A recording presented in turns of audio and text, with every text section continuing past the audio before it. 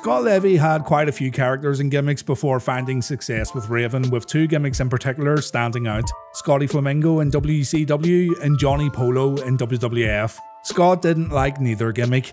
Scotty Flamingo was a surfer dude from Florida, and Johnny Polo was a spoiled kid who predominantly managed WWF superstars such as Adam Bomb and the Quebecers, though he did get in the ring on quite a few occasions too. Scott continued to portray these gimmicks because he felt he had no choice. Landing a job in WWF or WCW was quite a big deal, so you're gonna do pretty much what you're told, especially if you haven't been a main eventer on TV elsewhere. Personally speaking, I didn't mind Scotty Flamingo all that much, and I thought he suited the Diamond Mine stable of which he was part of during the later days of his WCW run. Johnny Polo, on the other hand, didn't have that many redeeming qualities, but one thing was for sure Scott could talk. I mean, he could talk a lot, and his delivery was always solid. So solid that he was placed on commentary a few times, and he also hosted a few shows and videotapes for WWF.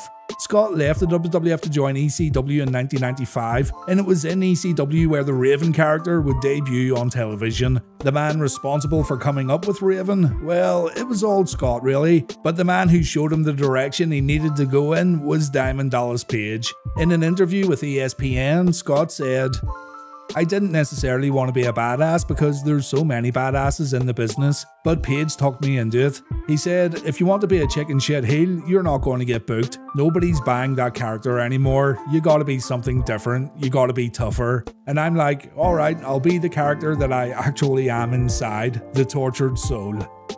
Scott's mentioned many inspirations and ideas he had for the Raven character. He mentioned in the same interview that Raven was like Robert Plant if Robert Plant had baggage, while also mentioning that he wanted to pattern Raven after Jim Morrison. The name, of course, is from the famous Raven poem by Edgar Allan Poe, as is Raven's promo sign off. Quote to Raven, nevermore. In another inspiration was Patrick Swayze's character Bodhi, the main antagonist from the 1991 movie Point Break. Not only was Bodhi a skilled athlete, he was a criminal. The most powerful tool at his disposal was his mind, how he could remain calm in the face of death. And he also saw himself as a liberator, a man who wanted freedom in a culture enslaved by routine. Bodhi was the bad guy that you liked, and there's probably millions of people all around the world who could identify with his philosophy, motivations, and intentions. But when he takes things too far, that's when you realise he maybe isn't the great crusader that you once thought he was. The same could be said for Raven.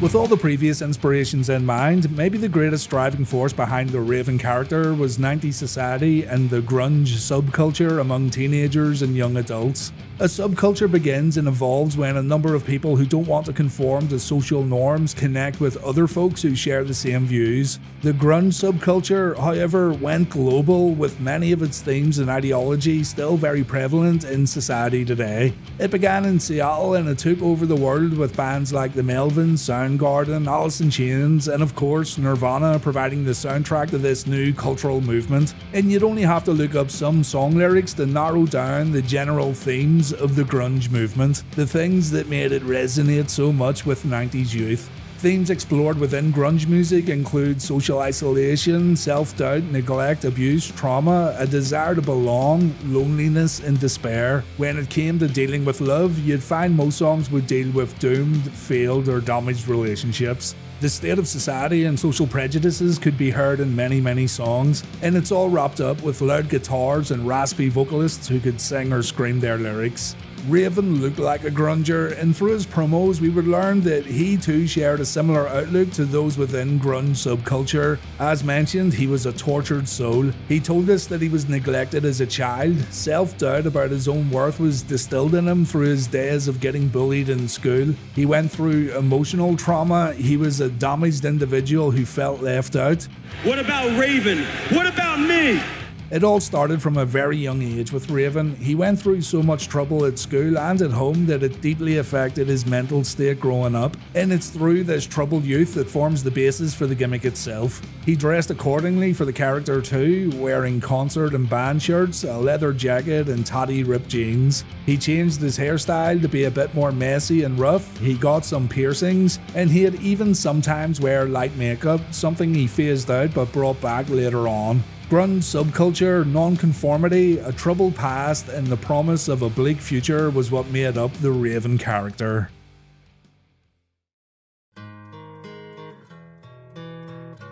With a character like this that's deeply rooted in one's personality, Raven simply had to be a good promo in order to get his message across. Raven isn't a gimmick that speaks for itself simply through bell to bell action, so the more promo time Raven could get, the better. Paul Heyman knew how big the character could be, and with Paul being more tuned into what was going on in modern times, he knew that Raven would connect to more people through what he said rather than what he did in the ring. It was also a stroke of genius to make Raven a bad guy. So think about this Raven's message and Raven's personality was going to connect well with others who had the same ideology. To these fans, Raven was right and Raven had every reason to be angry at the world. But for those who weren't part of the grunge subculture, they might see Raven as someone who just pissed and moaned a lot, a bratty, weak little crybaby who can't deal with life's difficulties when everyone else has to suck it up and get on with it. For fans who understood Raven and maybe felt the same way, he had every right to be the bad guy. He had every right to moan and complain because he's a product of a failed society. It's not Raven's fault he's the way he is, and if he wants to take it out on others, then good, let him. In essence, it creates a very multi layered character that's all about psychology, and it was Raven's psychology and mental state that made him so dangerous. Raven's words could brainwash others. He could make others see how the establishment had turned them into men or women they didn't want to be. He could even brainwash children into turning against their parents. And he had the ability to make his minions look up to him as a leader, the one who made them see the light, so to speak. He was able to bring factions of followers into both ECW and WCW, Raven's Nest and Raven's Flock. Those beneath him would do his bidding by launching attacks and competing in matches that Raven didn't want to work in, and Raven would treat his underlings like dirt because, as he would put it, Raven was the only one who ever gave them a chance. Raven was the only one who understood them, and if many of these guys and girls who joined his group didn't have Raven, then they'd be hopeless outcasts who nobody wanted. This was a little more prevalent in WCW. Raven's flock would sometimes feel like a bunch of brainwashed zombies who would do whatever Raven wanted without question. But eventually, when an opportunity presented itself to leave the group, most members of Raven's flock got fed up and they left Raven behind.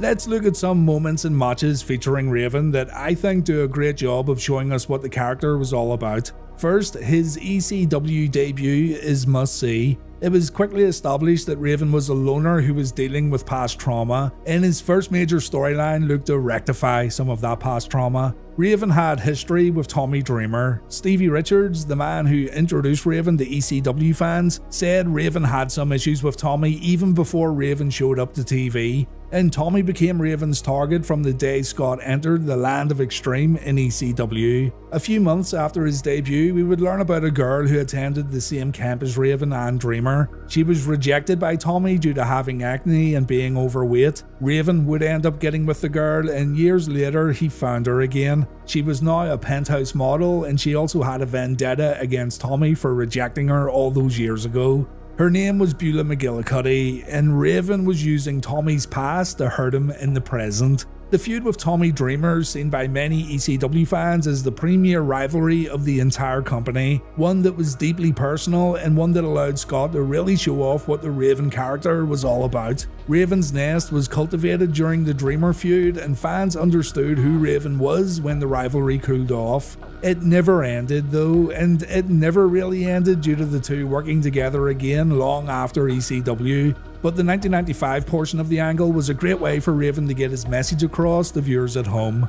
There was also the time when Raven made the Sandman's own wife and son turn against them. Raven used his powers of persuasion to brainwash Sandman's family, and there's probably no better way to make things personal and get the upper hand against the enemy. Tyler and Lori became members of Raven's Nest and they would follow Raven's commands. The ultimate goal was to mentally destroy the Sandman, and this rivalry would give us one of ECW's most controversial moments the crucifixion of the Sandman. Raven spoke about this moment in a 2014 shoot interview and he said, I knew I needed to come back with some sort of impact, and I thought, man, why don't I crucify the Sandman? That'd be great. I've always said that Raven is a martyr for society's dysfunction, and so now I'll make Sandman feel how I feel. I'll make him a martyr for society's dysfunction now and let him feel my pain.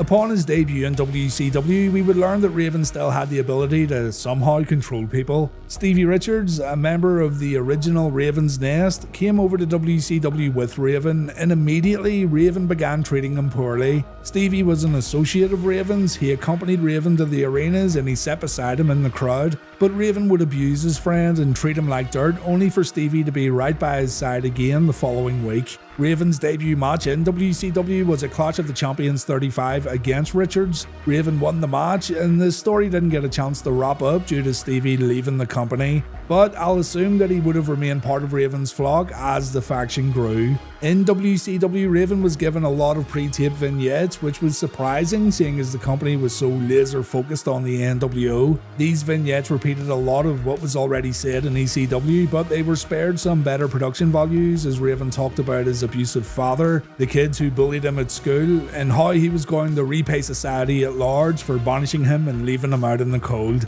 If you're not a fan of ECW's presentation, then the WCW vignettes are a good alternative, though the overall of the ECW promos suit Raven way better, in my opinion. Raven's feud with Perry Saturn in WCW is also worth looking back on. This was, in my opinion, the best example of someone turning their back on Raven due to Raven's insistence on treating people poorly. Saturn and Raven were friends growing up, and Raven would say he was always there for Perry during Saturn's darkest times. When things went bad between the two, though, Saturn would say that Raven was actually spoiled rotten as a kid. He had everything he ever wanted, and all this talk about Raven having a rough childhood was make believe. Saturn kinda struggled to leave Raven's side, but he finally had enough and he wanted to leave the flock. Raven, however, wasn't about to let Saturn just walk out without putting up a fight. Raven agreed to grant Saturn and the whole flock their freedom if Saturn could beat him on pay per view. If Raven won, however, Saturn would be Raven's servant forever. In the end, Saturn was able to defeat his former best friend and the group would disband, bringing on a pretty significant character evolution for Raven that maybe did him more harm than good, in WCW anyway.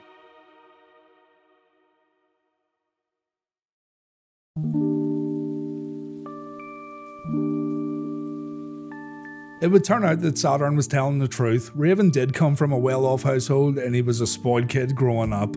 After the flock disbanded, Raven's world came tumbling down and he ended up refusing to wrestle matches. He took some time off and when he came back, his character backstory was explored more, highlighting some contradictions. His home life was explored in some vignettes that aired on WCW television, and in a way, this kind of changed everything we knew about Raven. He wasn't mentally abused, he wasn't treated poorly as a kid, he had everything he wanted. Raven, however, had visited some mental institutions, and when his mother asks him to go back, Raven refuses to do so. These vignettes also brought Chastity back, a former member of Raven's Nest, and they also introduced the Sandman to WCW audiences. Many fans enjoyed these vignettes for the humour involved, while a few hardcore Raven fans didn't like them at all. What a mark! Even today, it seems like a sore point judging by comments made online. Raven was much more like a spoiled rich emo kid in comparison to the gritty, deep thinking antisocial grunger that brought him to superstardom. The feedback is mixed on the character evolution, though I'll repeat that many fans found the vignettes very entertaining. In the WWF, Raven didn't get a chance at all to build or evolve the character. Paul Heyman understood the importance of Raven getting mic time, whereas it felt like the WWF just saw him as another former ECW guy who should get thrown in with the other ECW guys. So those traits of Raven being a loner and non-conforming were thrown completely out the window. I could talk on about this, but I want these videos to remain character focused, so we won't get into the nitty gritty of it all. But in comparison to ECW and WCW, Raven's WWF run simply didn't provide him with any opportunities to grow or evolve as a gimmick, which really was and still is a shame. In TNA, Raven kinda reverted back to what brought him to the dance, and for a while it was extremely successful. Raven became the NWA champion at Slammiversary 2005, but down the line, TNA tried to introduce their own version of Raven's Nest named Serotonin. Raven would punish members of the group for losing matches. It had that same kind of thing going on where Raven looked down on members of his own faction, but there were no long term plans for Serotonin and it just kinda fizzled out. TNA fans rank Serotonin as one of the weaker groups that ever appear in the company. Through TNA though, and even on the Ring of Honor and the Independents, Raven remained as an alternative wrestling character, making alterations to his attire and moving on from the grunge look as the years went on.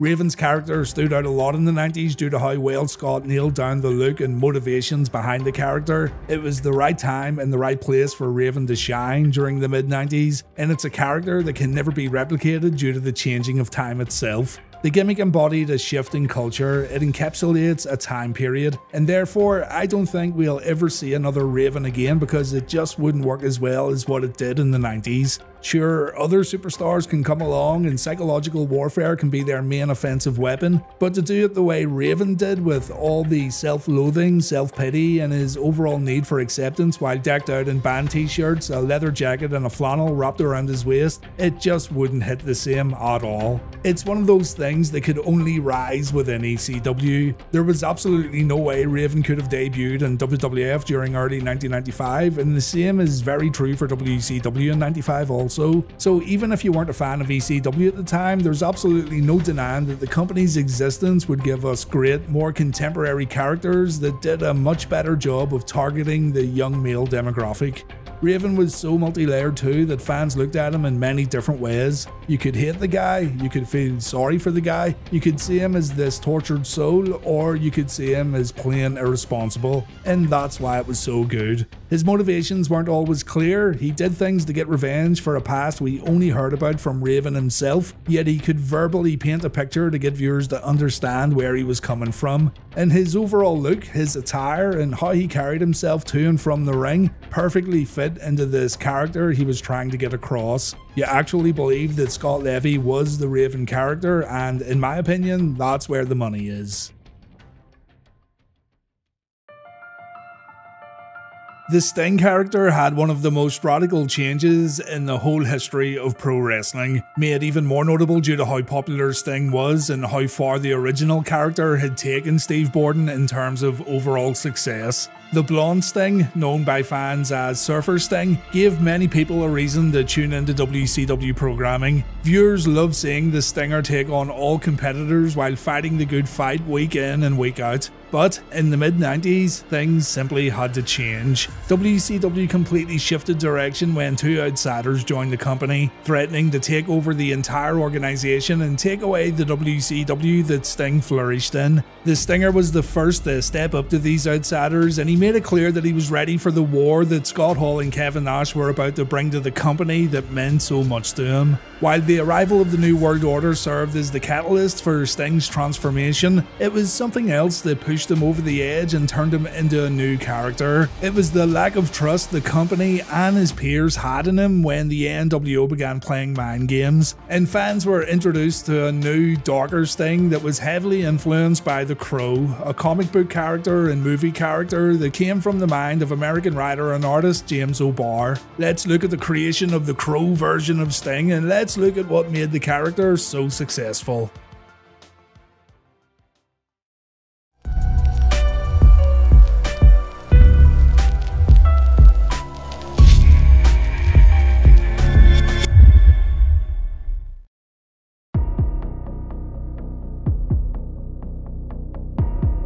On screen, Scott Hall was Sting's enemy, but backstage it was Scott who suggested that Sting changed his character into this dark vigilante. Surfer Sting wore neon colours, he came out to a cheesy but admittedly awesome early 90s rock song with lyrics about how he makes the kids in the audience go wild and how the old people start acting like children when the Stinger's doing his thing. This worked well in the early 90s by the way, and even when the NWO came along, the original Sting character was still immensely popular, but there was a shift going on in pro wrestling where these cartoony characters and white meat babyfaces were getting phased out in favour of darker, more gritty and edgy characters that resonated better with the young male demographic. Hulk Hogan even shed his trademark red and yellow gear in an effort to update his overall look for this new era. Randy Savage would soon do the same thing, and while colourful characters most definitely still had a place in pro wrestling, it seemed like adding a little grittiness to a gimmick worked wonders for some of the biggest stars in the business.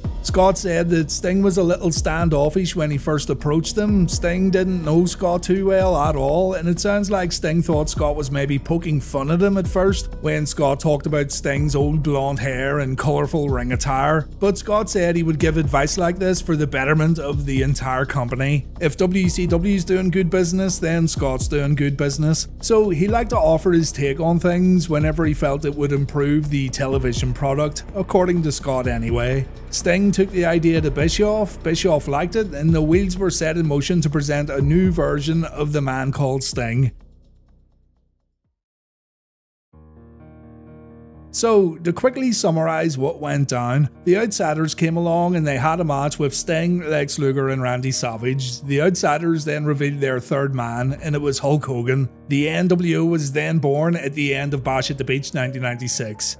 Sting would continue to fight the good fight on WCW programming, trying to save WCW from this takeover, but the NWO were able to convince Sting's peers and other WCW employees, including the commentators, that the icon had actually joined the group and he was going to fight alongside the NWO in the 1996 War Games match at Fall Brawl.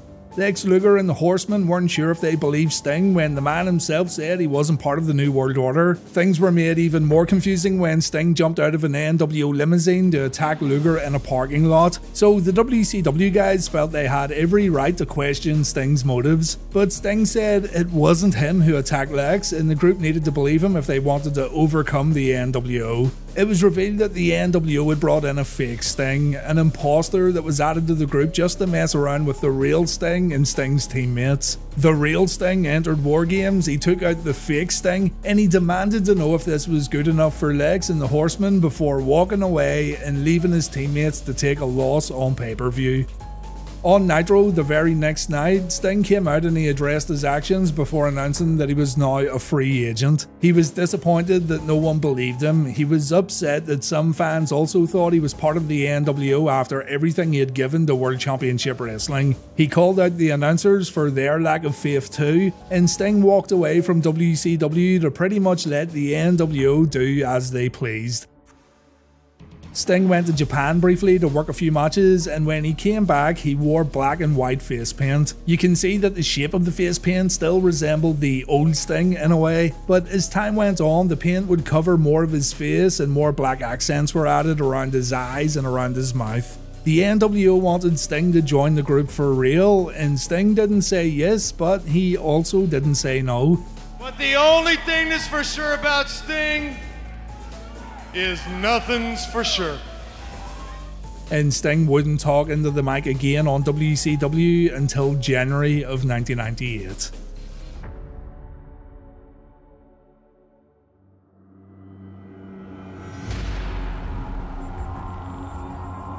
Scott Hall didn't read the Crow comics. He watched the 1994 movie starring Brandon Lee, but seeing as the comic serves as the true genesis of the Crow character, we're going to focus on the comic books here, and you're going to quickly learn that many of the original Crow's characteristics actually match up to the Crow's Sting character in WCW. Now, I will be taking some liberties here too. Scott just watched the movie and he thought Brandon Lee looked cool while appreciating the darker tones of the Crow character. The comic book wasn't looked at before, during, or after Crow Sting's debut, but I think it's good to look at this character inspiration from the absolute ground level. Plus, it's more fun.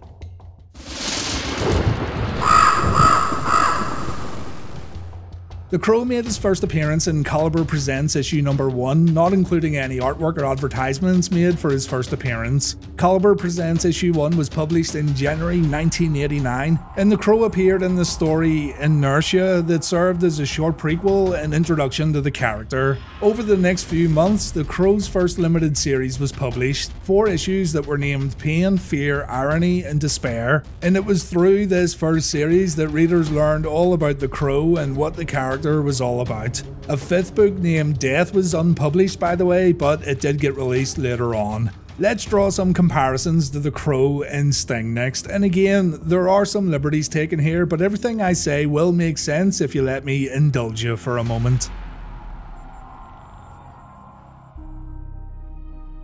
Eric, the protagonist in the original Crow comics, is killed by a group of thugs along with his wife. Sting, the protagonist in WCW, is in the middle of WCW getting killed by a group of thugs. Eric is resurrected by the Crow sometime later and he plans on getting revenge for the people responsible for killing him and his wife. Sting's character looks to get revenge on the people responsible for killing WCW. I know, I know, the lives of a man and a wife seem like a weird comparison to a wrestling company, but wrestling is weird anyway, so just roll with it. The Crow Sting, at its core, was all about bringing WCW back to what it was by taking out the men who were hell bent on taking it over in the comics, Eric's makeup is described as joyful. We see a masquerade mask in his house, and Eric takes inspiration from that very mask that hangs on the wall. The original Crow Sting, before he somewhat evolved, had the exact same face paint more or less, and it worked wonders for this new dark vigilante Sting. Even more so, seeing as Sting used to wear face paint before. Think about it, if this was someone who didn't wear face paint before, then it might not have came off as good.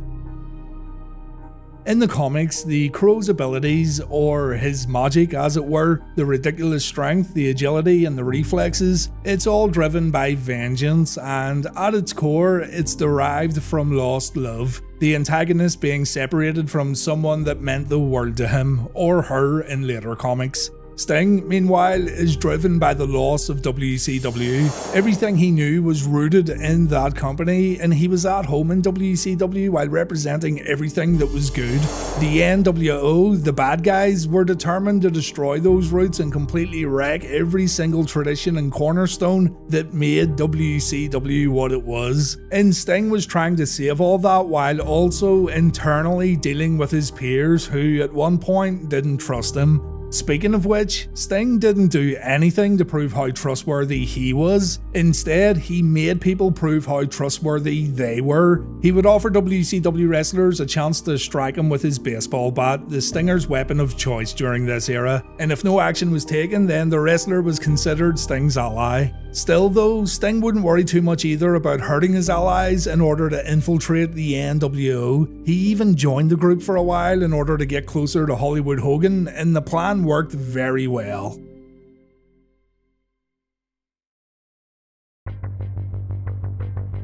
Seeing as Sting didn't wrestle during the early days of the Crow gimmick, he would make his presence felt by sitting in the rafters and watching over everything that happened in the ring. He stalked his opponents from high above, keeping an eye on what was going on within the NWO and within the WCW Crusaders that once turned their back on him. Sometimes he could be spotted, other times he was nowhere to be found, but Sting instilled a lot of paranoia within the NWO and it was all very effective both from a storyline perspective and from the perspective of viewers watching at home. No one had done anything like this before, and you gotta give Eric Bischoff credit for putting off Sting's eventual return to the ring for as long as he did. When Sting was ready to get back in the ring at Starcade, WCW made a lot of money, and the creative booking up until that point was perfect. Anyway, the threat of Sting was always there. Even if Steve Borden was in another city or state, it never had to be explained on TV because his home on TV shows was away from the spotlight anyway. And this whole thing with the icon living in the shadows and striking at the most opportunistic times was what made it all work.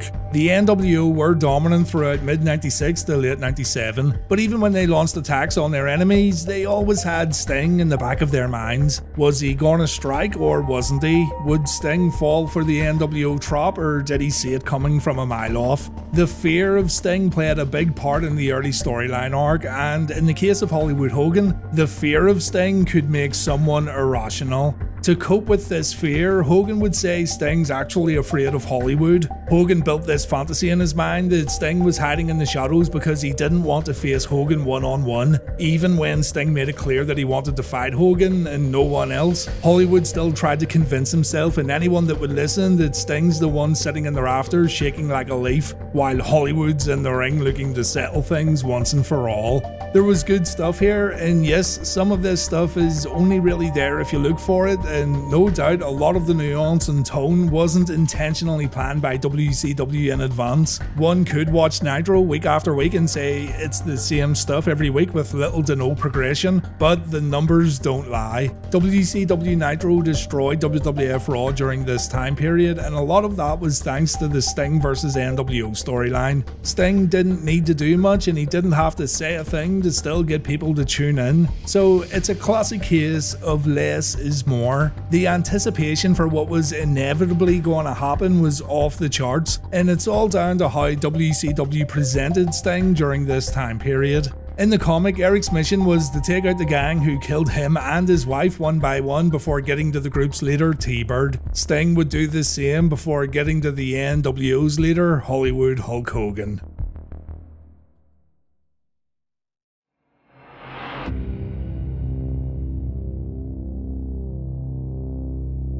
It can be quite difficult to talk about highlights of this gimmick because of the nature of Sting's appearances. Watch episodes of Nitro, hope that Sting strikes the NWO, and there you go, you've got a highlight of the Crow Sting. Every time he did this, the crowd would lose their minds, and the excitement of the audience comes across on TV really, really well. And besides, the highlights are made even better because you didn't necessarily know if Sting was going to strike or not. But still, I want to point out some other key moments that go a long way in painting this character and letting us know what he's all about. The Sting promo after Fall Brawl 96 on Monday Nitro is absolute must see for those wanting to study the gimmick and learn about why Sting changed into this dark and mysterious vigilante. Hearing Sting getting angry on a personal level is very different. This one feels much more authentic than his previous promos, so hunt this one down and you'll understand why Sting did what he did. It's one of the more memorable promos of his whole career. The 21st of October 1996 episode of Nitro, where Sting gets asked to join the NWO, is an important night too. This one's fascinating from a character standpoint because you sort of get half of the old Sting and half of this new Crow Sting. We also learn here that Sting isn't going to give away his hand and let the NWO know how he truly feels about them. And we also hear Sting talk for the very last time for nearly a year and a half. WCW uncensored events get a bad rep, but the 1997 edition closed with a great Sting moment. The NWO were victorious in the main event, but just before the show ended, Sting finally showed everyone that his allegiance was with World Championship Wrestling. The Stinger attacked Hall, Nash, and Randy Savage, and he also attacked Hulk Hogan as the crowd went nuts. Everyone left the show knowing that Sting was going to bring the fight to the NWO and eventually he'd be coming for Hollywood Hogan soon and the World Heavyweight Championship. A personal favourite Sting moment of mine happens at the very end of Clash of the Champions 35, the last ever Clash show. The NWO were celebrating their birthday at the end of the event, the lights begin to flicker, and this low sustained note played in the arena that really added to the atmosphere. Up in the rafters, we could see Sting with a vulture perched on his hand, and then the This is Sting monologue played for the first time. A monologue that describes Sting's mission and why he seeks vengeance against the NWO.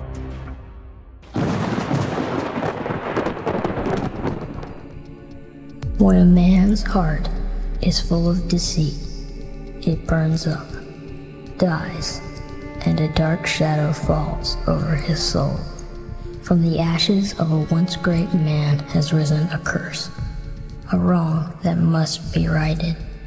We look to the skies for a vindicator, someone to strike fear into the black hearts of the same men who created him. The battle between good and evil has begun. Against an army of shadows comes a dark warrior, the purveyor of good, with a voice of silence and a mission of justice. This is Sting. The Vulture then sits on the ring ropes as the NWO look on in fear, not knowing what to do as that low sustained note continues to play in the arena. On the 13th of October 1997 edition of Nitro, a bunch of fake Stings came to the ring at the very end of the show to confront the NWO. These fake Stingers had been synonymous with the New World Order and they were used frequently to swerve fans and swerve viewers at home. This time though, one of the fake Stings hit Buff Bagwell with a Scorpion Death Drop, only to reveal himself as the real Sting afterwards. They pulled this one off really well by playing with your expectations, and the audience absolutely lose their minds when they realise what just happened.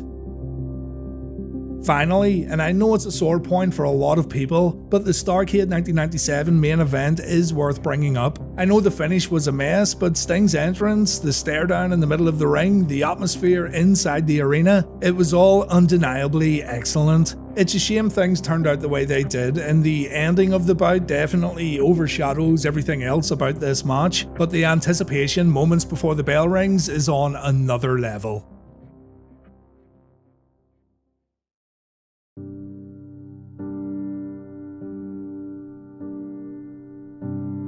Later in the comics, it said that the crow's abilities are taken away if the antagonist abandons his or her mission, and the abilities also diminish when they consider their mission complete.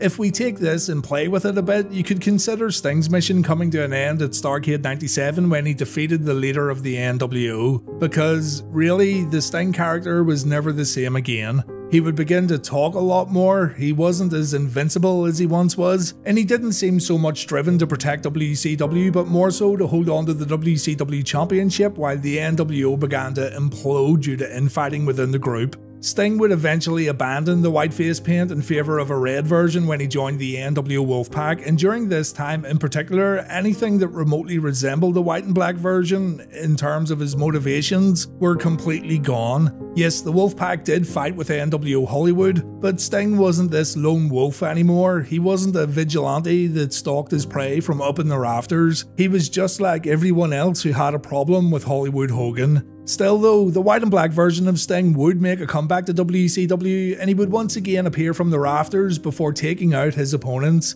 But again, it wasn't the same. He was tangled up in usual, more traditional storylines that didn't expand upon the core characteristics of the gimmick. The same's true for Sting's time in TNA, WWE, and AEW, with the only real big deviation being the Joker Sting that appeared in Impact. This character was, of course, inspired by Heath Ledger's portrayal of the Joker in the 2008 film The Dark Knight, and judging by comments made online, in retrospect, it seems that fans are split on the insane icon. Some fans liked it, others didn't. The Crow Sting that walked out on WCW Nitro in 1996, though, serves as the foundation for the Sting we still see on AEW television today, and it proves the overall longevity of the character. Surfer Sting in modern times wouldn't look right at all, so what Scott Hall and Sting did back in 1996 was create a wrestling gimmick that was once maybe a necessity but ended up standing the test of time. Many, many fans grew up with the Crow Sting and they know very little about his early days. Sting is generational though, and it really doesn't matter which version of Sting you were most fond of or which version of Sting you grew up with, he'll always be one of the most successful and popular superstars of all time.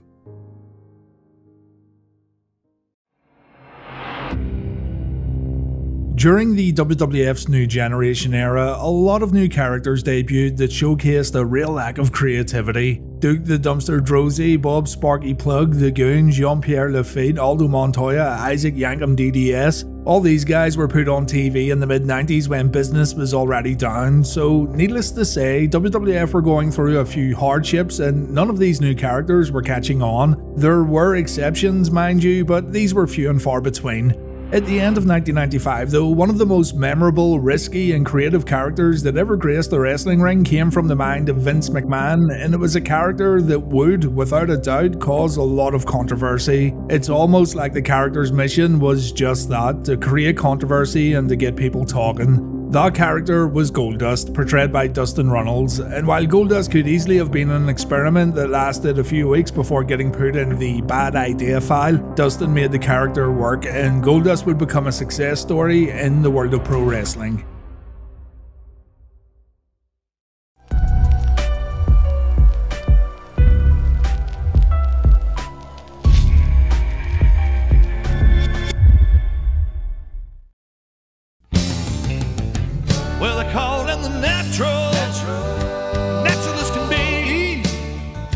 Dustin Runnels was known to fans as the natural Dustin Rhodes during his time in WCW. The son of the son of a plumber, Dustin was a no nonsense Texan boy who, at the time, didn't have much of a character, but that's because he didn't really need one. Being the son of Dusty Rhodes was more than enough. Still, Dustin stood out on his own, and WCW fans warmed up to him before he left for a brief stint in WWF during the early 90s. Following this short run in New York, Dustin returned to WCW where he spent the next four years as a fan favourite. And again, WCW fans enjoyed seeing the natural in action. He became a two time WCW Tag Team Champion and two time United States Champion during his time in WCW. Following the well documented King of the Road match, Dustin was fired from World Championship Wrestling and he decided to go back to WWF where Vince McMahon would present him with a new character that was very, very far away from the natural. As a matter of fact, it was far away from anything WWF had ever presented before. Through interviews with Dustin and through Bruce Pritchard's podcast, we can learn a bit more about how the Goldust idea was pitched to Dustin. But before we do that, let's take a look at some of the original concept art for the character and other characters the creative team had in mind for Runnels upon his return. First, we can see that a regular cowboy gimmick was considered. This doesn't look too far away from the natural character, but admittedly, it looks very safe and, dare I say, a bit boring. Shadow Rhodes was another idea that made Dustin look like some sort of Mad Max character, perhaps. Kinda gives me vibes of a post apocalyptic biker or scavenger of some description, but who knows what the real idea was here. Stargate Dustin Runnels looks like an Egyptian guard of sorts, and I'm so happy WWF didn't go with this. This kind of thing falls into that wacky 1995 new generation nonsense that had a track record for failing hard. And then we come to Goldust. What you're going to notice in these Goldust designs is that there's no face paint involved, and at one point, the designers thought a turquoise colour scheme might suit this new character. According to Dustin, Vince McMahon didn't envision Goldust wearing face paint. McMahon instead saw Goldust overdoing it a little with makeup similar to Adrian Street and Adrian Adonis, but Dustin suggested paint that covered his entire face because it was something he personally wanted to do. Dustin loved how Sting and the Great Muta looked in WCW and he always wanted to wear face paint similar to these guys, so Vince gave it a thumbs up. There's one word that was repeated to Dustin over and over again during that first phone call with Vince, a word that Dustin had to look up when the call ended because he didn't know what it meant, and that word was androgynous. When Dustin went home and looked up the word in his dictionary, he would have read a definition like this. Androgynous, having both male and female characteristics, looking neither strongly male nor strongly female. It was at that moment when Runnels wondered just what he had gotten himself into, yet it's also very important to remember that throughout this whole character pitch and during the early days of the character's development, Dustin was all in. Runnels said he was excited to play a new character, he was eager to get away from being just the son of Dusty Rhodes, and he wanted to do something widely different in his pro wrestling career. I think it's important to remember that Dustin wanted to try this new character just as much as Vince wanted the gimmick on TV. Vince only really told Dustin that Goldust was androgynous and not a whole lot more. On the Chris Jericho podcast, Dustin said, Vince is like, yeah, you'll be this androgynous character, and he mentioned Adrian Street and Adrian Adonis. So I remembered them and how they presented their characters and things like that. I'm like, okay, that's kind of cool, just this flamboyant person, right? That's what I thought androgynous meant, was flamboyant, and it's a little different than that. But he presented that to me, and you know, I sunk my teeth into it, and it took me a good six months up there to figure it out. So Goldust was shown his costume, he heard his entrance music, the folks at WWF made him feel pretty good about this new character, and everyone, including Dustin, thought a lot of money was gonna get made.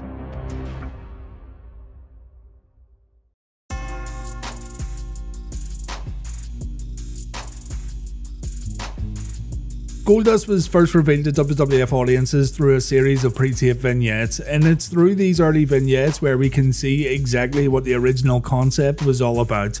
We know that Goldust was to have both male and female characteristics, and in the 90s, this was going to create a lot of noise. But there's way more to Goldust than just sexuality. Hollywood, motion pictures, and film direction were also a key part of the Goldust character, and it's incredible how all this gets overlooked. Goldust would quote movies to get his points across. He would talk about his opponents starring in his latest blockbusters. He himself even looked like an Oscar award statue. But all this is overshadowed by every other trait that Goldust brought to the table. More on this in a moment though. Let's talk more about these debut vignettes.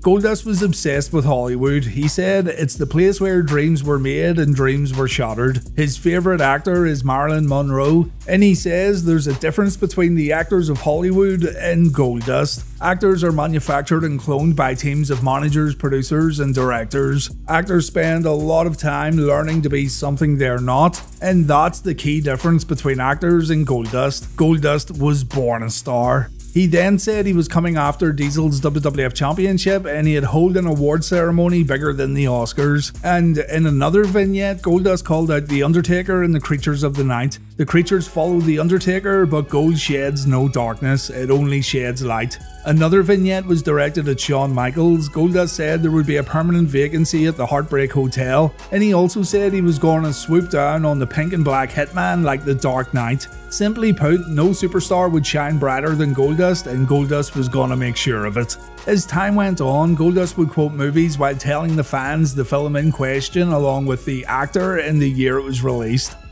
House of Wax, 1953. In terms of his overall look, Goldust was very, very unique. The bodysuit, the face paint, the golden robes, the wig, he definitely stood out and he immediately made people take notice.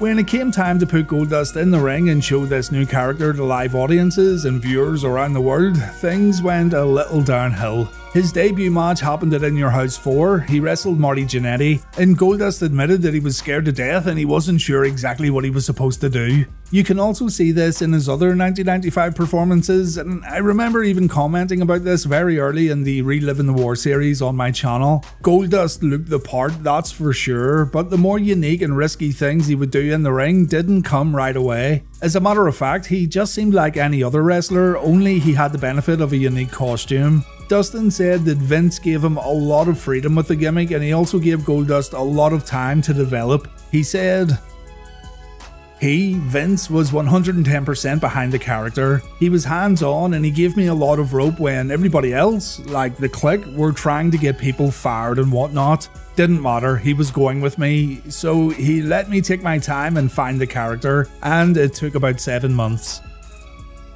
Savio Vega was the man responsible for bringing Goldust out of his shell. On the AEW Unrestricted podcast, Goldust said, it took a while and then I started working Savio Vega, and Savio would try to get me to try these couple of things that were just way over the line for me. I'm from Texas. I was raised kind of in the country, so I'm a country boy and I'm scared to death. But that's when I realized that to make something successful, you have to step out of yourself, outside of the box, and you got to create some magic of your own. You just can't be scared all the time, you gotta take a chance. We were in Madison Square Garden. This was a special night, that's why I'm telling you the story. Savio finally talked me into doing this thing. We go out there, we start wrestling and having our match. I was Intercontinental Champion at the time. He locks up with me and he says, Okay, we're going to do it now.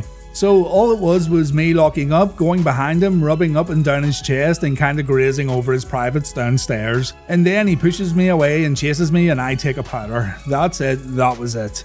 The place, for the first time in like six or seven months, erupted with every kind of profane thing just thrown my way. And it was like, holy shit. It was so simple, and I was so scared to try that. I couldn't believe the reaction. It was major heat because you did not do that back then.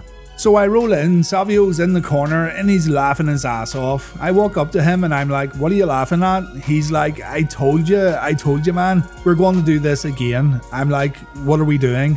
So I backed up in the corner. He says, I want you to spin me around and turn around and rub your ass on my crotch, and I'll push you off and you take a powder again. That's all I did, and they were louder this time. Right then in Madison Square Garden, I found gold dust, and from that point on, it was a magical, magical run for a couple of years.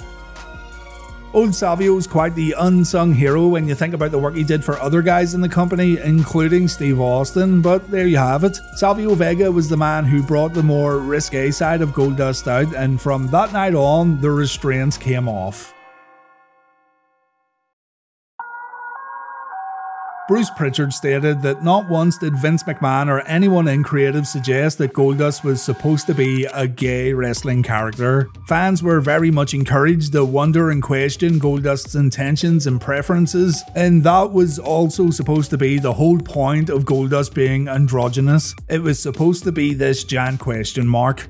Goldust was a master of mind games. He did the things he did to try to get in the mind of his opponents, and he would try to gain an advantage by making his enemies wonder what's up with this guy. Of course, it's easy to look at Goldust and see the whole thing as nothing but exploitation or perhaps a cheap way for WWF to poke fun, but over the course of the character's story arc, we would learn that Goldust was a happily married man and he had a young daughter. His wife even became his manager very early on, and while their relationship wasn't made clear right away, it was easy to tell they were close. So, in essence, Goldust used suggestive and risky in ring mannerisms to try to get in his opponent's heads, or at least that's what Dustin and WWF were trying to get across. Emphasis on the word trying.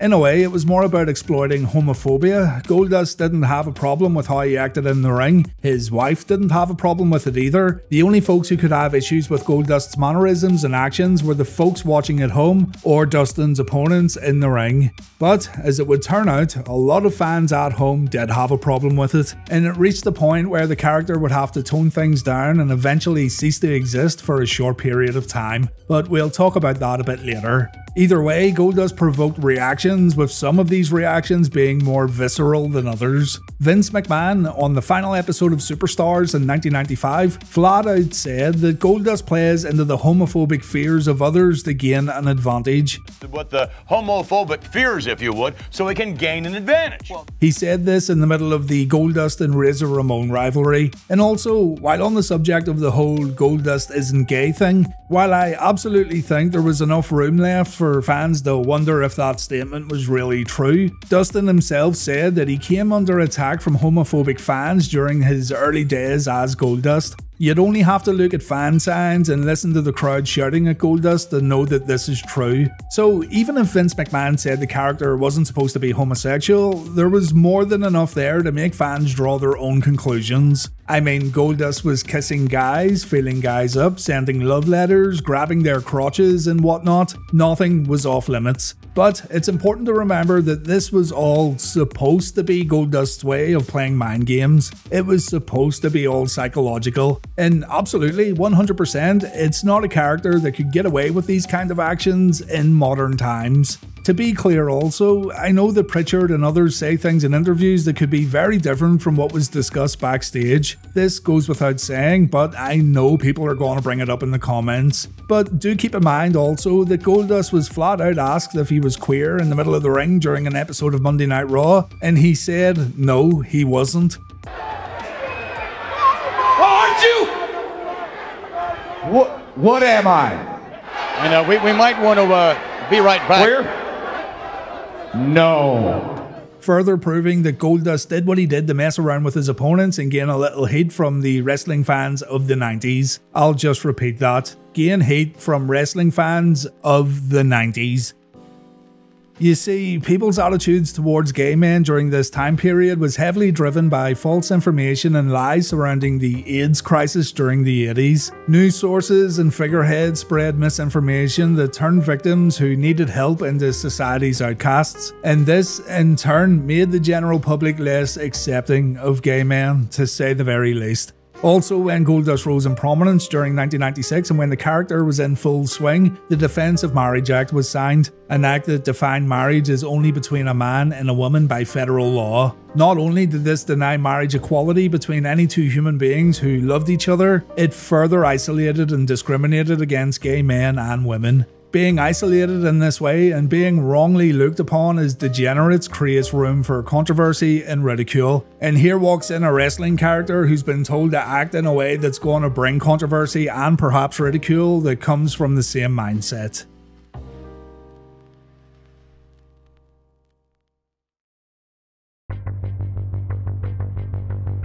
Goldust was developed to create controversy. Vince knew it, Pritchard knew it, and Dustin Runnels knew it. You can't watch Goldust in 1996 and say that he didn't push buttons to get a reaction. That would be absurd. And absolutely, being a villainous wrestler who implied that he liked men made many fans look at Goldust like some sort of bad joke, and it also makes WWF look insensitive. But Goldust and the fans' overall perception of Goldust is also a great case study for how times have changed over the years. There are many folks, particularly those who have the ability and honour of reaching a wide number of wrestling fans through the internet, who look back at this character today and call it one of the worst and most unforgivable things WWF ever did. So I felt it was important to hear from LGBTQ fans in regards to Goldust and listen to their take on the gimmick, seeing most of the takes out there via Google and YouTube search are from straight dudes. My perception, and indeed the perception of morally grandstanding journalists, YouTubers, and critics, could maybe be different from those with different preferences and lifestyles, and I wasn't surprised to learn that the majority of people just enjoyed the character for what it was and they appreciated the work that went into it. But to be fair too, there were also a few folks who were offended and felt that the character was a setback. Of course, along with this, you get the odd Twitter hero who wants to turn everything into an argument, but by and large, folks were more drawn into the psychological aspects of Goldust rather than the suggestiveness of his actions. Expert Bandit said this was one of the better gimmicks I ever saw. When he pulled that wig off for the first time and I finally realised who it was, let me tell you, I was shocked. Shocked, I tell you. Emily said, I always found the Goldust character very amusing and fascinating. His initial WWF run started brilliantly. He broke boundaries and provided the most entertaining content during the bleak period of WWF. I also enjoyed his 2002 and 2003 run with Booker T. Here's one here that said, I liked it because it was a great gimmick. I'm lumped with this LGBTQ plus thing as if we were monolithic, but I bet everyone has different viewpoints. I was a big fan of Dustin pre Goldust, and so I was more shocked it was him uh, rather than the queer overtones. Truly a great character. Super Razby, WWF was gimmick central in 1995 and it easily could have failed, but Dustin had the talent to pull it off. He played Goldust like an outrageous John Waters character and could wrestle well enough that the matches were worth it too. He was more than just Dusty Jr., as WCW booked him. Chris says, I feel like because it was so cartoony and so out there and not true to life that it's hard to be offended by it. Lou said it was 1996 and wrestling. That's my opinion. Here's one here. I found his character in the mid 90s to be funny and awesome. As a strange teenager myself, I could relate to him, especially when I got in character. As a bisexual, I found him amazing, funny, and groundbreaking. At that time, I never knew other bisexuals existed. And in the interest of fairness, here are some of the more negative comments. Kimberly's Ghost says the way the Goldust character was portrayed in his first three years is a fascinating and alarming insight into how Vince McMahon views homosexuality. The Scottish nerd said, Great character, but at the start it was just hateful and poisoned every LGBTQ plus character for like 10 years. The Stern J said the gimmick wasn't the issue, but the way they talked about it was, like when Lawler was on commentary dropping the F slur and then promos, Dustin did great in the role. Something Neon said the way that Dustin portrayed the character always outshined the shittiness intended by writers or how the moral pillar of wrestling Jerry Lawler talked about him. Both he and Dusty somehow found ways to turn baffling ideas from creative into iconic characters in their own way. Lexi says he was definitely a negative representation for us at the time, and as a trans woman who was still questioning herself at the time, he probably delayed me coming out by quite some time. That initial character fits exactly the same type of attacks we suffer today. Brian said, It's a bit of a mixed bag for me. I was still in high school when he debuted and not out myself. I found the character to be different and refreshing, but when he was a heel, the homophobic hate he got was pretty offensive.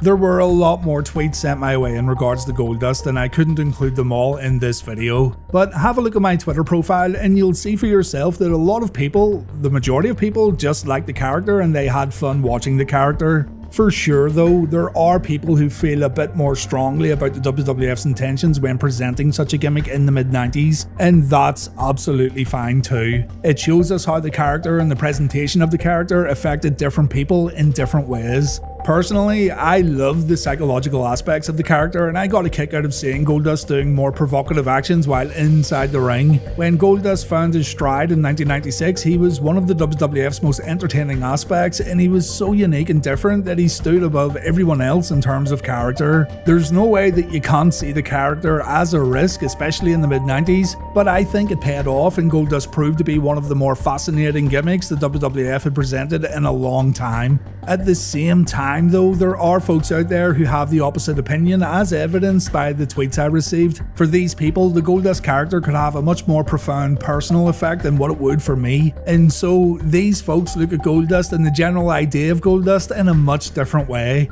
These people should never be overlooked, and maybe that payoff I talked about was at the expense of these wrestling fans. How you feel about the character is your own personal choice. If you loved it, great. If you found it offensive or too close to home, that's fine too. But whatever way you felt was what the WWF were going for. The more controversial it became, the more it got people talking. That was the whole point of the gimmick. You don't push the envelope without expecting some people to get upset over it. And you're the only person who can decide if that's right or if that's wrong, not some dude who writes opinion pieces on the internet. What's also evident though is that the majority of those who found it offensive weren't necessarily angry or upset with Dustin, they were more angry or upset with the WWF.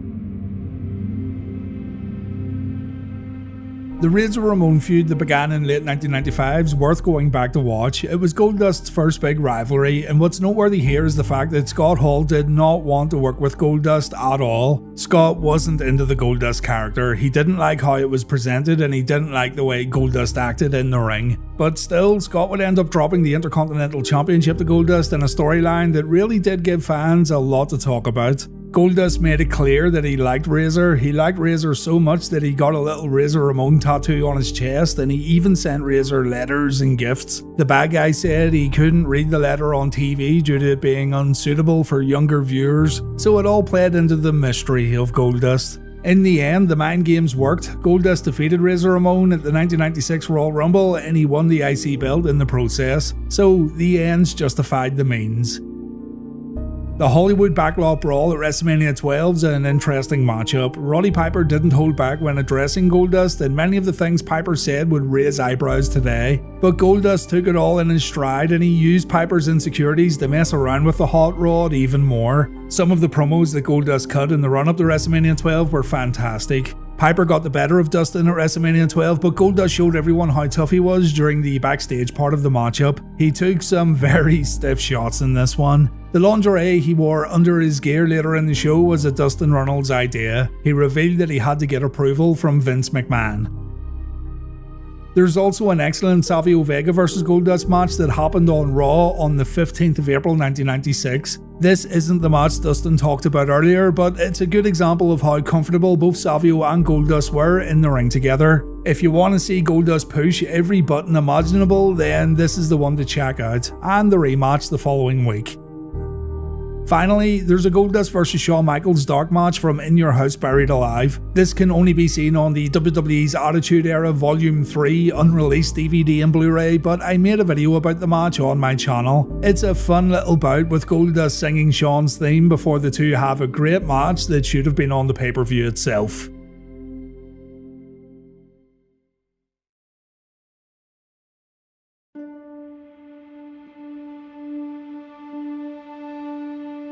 There were many places this character could go in 1996 in particular, but things got watered down a lot when sponsors and viewers, mostly parents, complained about the character. According to Vince Russo, USA Network were getting a ton of complaints, and Goldust was on the verge of costing WWF some big brand deals while also putting existing sponsorships in jeopardy. So everything had to get reined in. Goldust would turn babyface. He would explain in a series of interviews that Goldust was created so Dustin could step away from his dad and so Dustin could be his own person. The gimmick was all toned down, and this resulted in everything that made the character unique not being there anymore.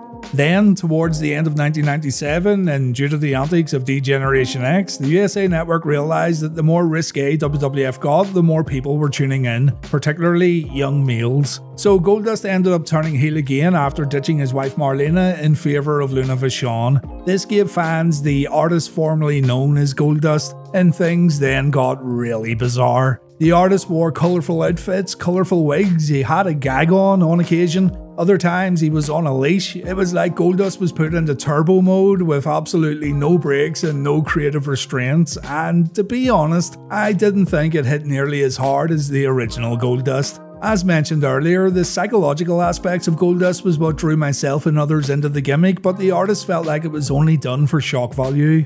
On top of this, the character just wasn't that successful, there were no championship reigns, he wasn't featured on a weekly basis, and eventually it was phased out in favour of Goldust pretending to be other people like Hunter Dust, Marilyn Dust, and uh, Dusty Dust. Knowing that the character was falling out of favour, Goldust pitched the idea of getting breast implants to Jim Ross, Bruce Pritchard, and eventually Vince McMahon. This was all confirmed by Dustin Ross and Pritchard, by the way, and of course, Vince McMahon did not allow it. Jim Ross wrote in his first book, the hot creative ideas were slowing for the Goldust character, and we had all been brainstorming for new ideas. Dustin comes into a small room at Madison Square Garden, takes a seat, and proceeds to tell me that he has an idea that will put him back on the map.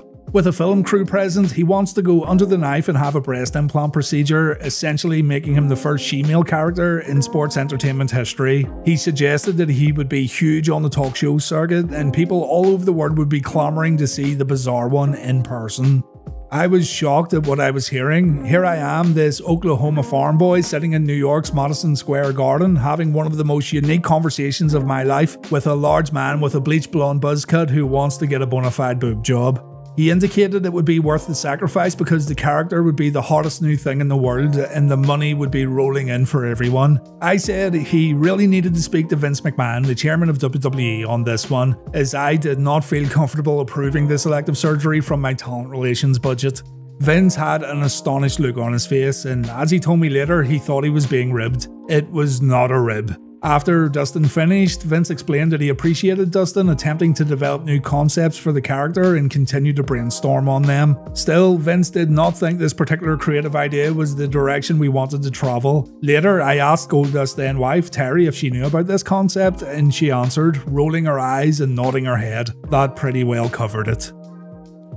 Dustin would end up burning the Goldust outfit on TV, he became a born again Christian, and he would then end up bringing the Goldust character back again, but again, it wasn't the same as before. When he went back to WCW, the creative geniuses had him debut a new character named Seven just for the sake of working the audience with a shoot promo and killing the character off from the moment he got in the ring and then he just reverted back to good old Dustin Rhodes. Over the years, Goldust would make returns to WWF where he had good times and he had bad times. As Emily Rose mentioned in her tweet earlier, he had a memorable run with tag team partner Booker T that many fans enjoyed. People are going to remember Goldust stuttering his words and having a mild case of Tourette's during this run, but the allure and the mystique of the character was never recaptured, and to be honest, it was always impossible to do such a thing all these years later. Still, Goldust will always be part of Dustin Runnels as evidenced in his AEW run. I love how he incorporates his old character into his AEW face paint. Goldust was put away for good, but there's still elements of the character that stayed with Dustin as he began his journey in all elite wrestling.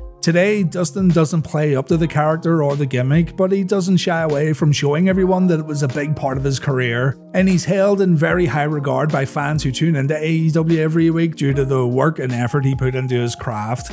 35 years this man has wrestled for, and he shows no signs of slowing down. As a matter of fact, many believe his greatest match happened in 2019 when he faced brother Cody at AEW Double or Nothing.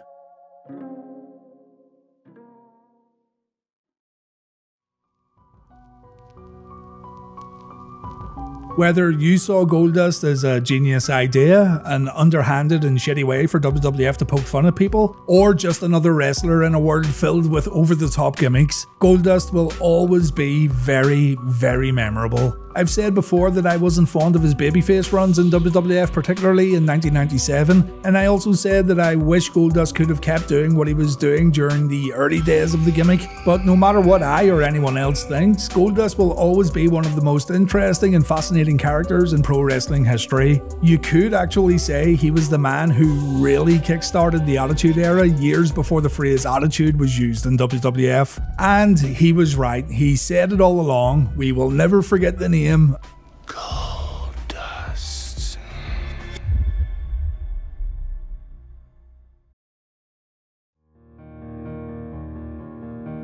1992 was a year that signified the end of an era, standing as a murky no man's land between the golden era of pro wrestling, the most critically and commercially successful period in the sport up until that point, and the ongoing new generation era, which would have the exact opposite effect on the industry, very nearly rendering pro wrestling unsalvageable in the United States.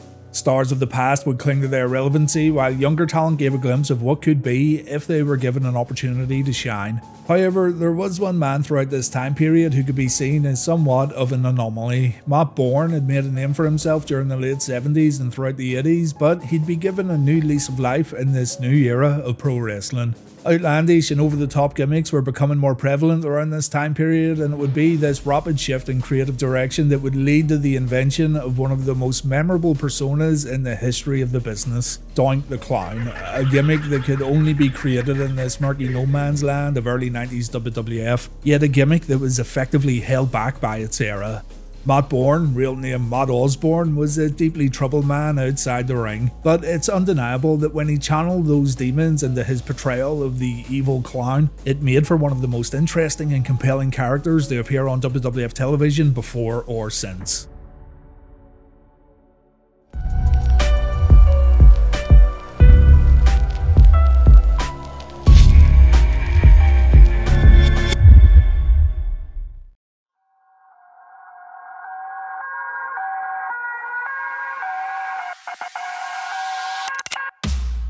Matt Osborne grew up in North Carolina as the son of Tough Tony Borne, a well known wrestler throughout the Portland territory. When he was a young boy, Matt's mother walked out on him and his father, the pain of which would stay with Matt throughout the rest of his life.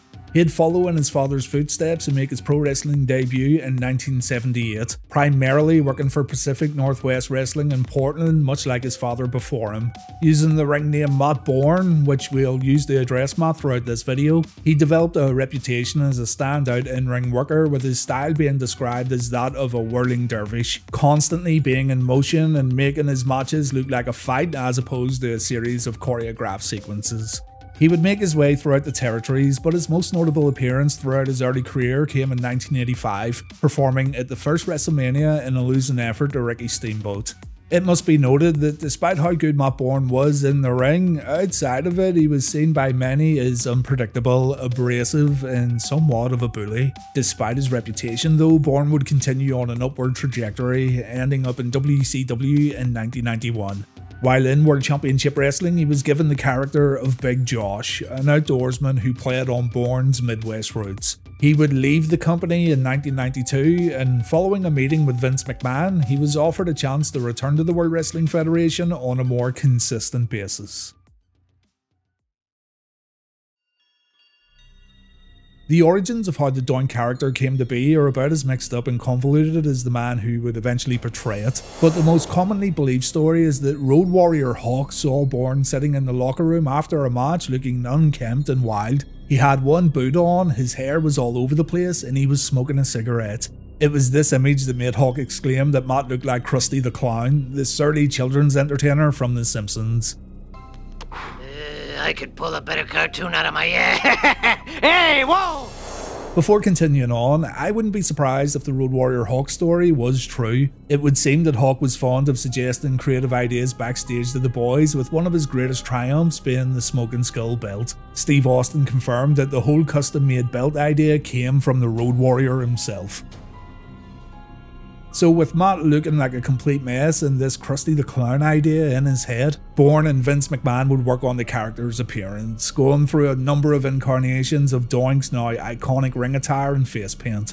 In regards to how Doink would act outside the ring, Matt took inspiration from his father's old tag team partner, Lonnie Moondog Mayne, a notorious prankster back in his day. And along with me, and Matt also looked at Cesar Romero's portrayal of the Joker in the original Batman TV series from the 1960s to gain further inspiration. The Romero influence was evident in regards to Doink's over-the-top movements as well as his signature laugh. One of the seemingly more obvious inspirations for the Doink character, at least from an outsider's perspective, was that of Pennywise, the evil clown from It, Stephen King's novel, which would later be adapted into a TV miniseries. However, according to those involved in Doink's creation, Pennywise wasn't even mentioned throughout the creative process. Bruce Pritchard claimed that the inspiration for the character instead came from the 1988 film Killer Clowns from Outer Space. On the surface, this sounds ridiculous, but given how out of touch WWF always seemed to be in regards to popular culture, there may well be some credence to it. Despite this, given the overwhelming success of the television series and comparing the time that the show aired, November 18th and November 20th, 1990, and given when Doink debuted, it's undeniable that there were similarities between the two evil characters.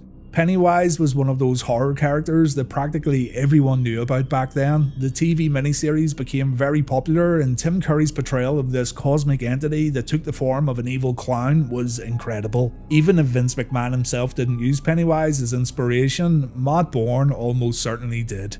On a very basic level and away from the main children characters in the book and TV series, Pennywise would appear harmless, a goofy and silly circus act that would lure the children of Maine into a false sense of security through his playfulness. When the time was right though, Pennywise would turn into an absolute monster to feed on his prey. And while not as blatant or as violent as this, one could compare Doink's mannerisms to Pennywise in regards to how one moment he was happy and smiling, and the next he was menacing and quite sinister. More on this later though. When it comes to the main protagonists of the book and miniseries, Pennywise was much more psychological in his approach. He would invade the minds of these children and later full grown adults in hopes of causing severe mental torment. Doink too would be quite the fan of mind games.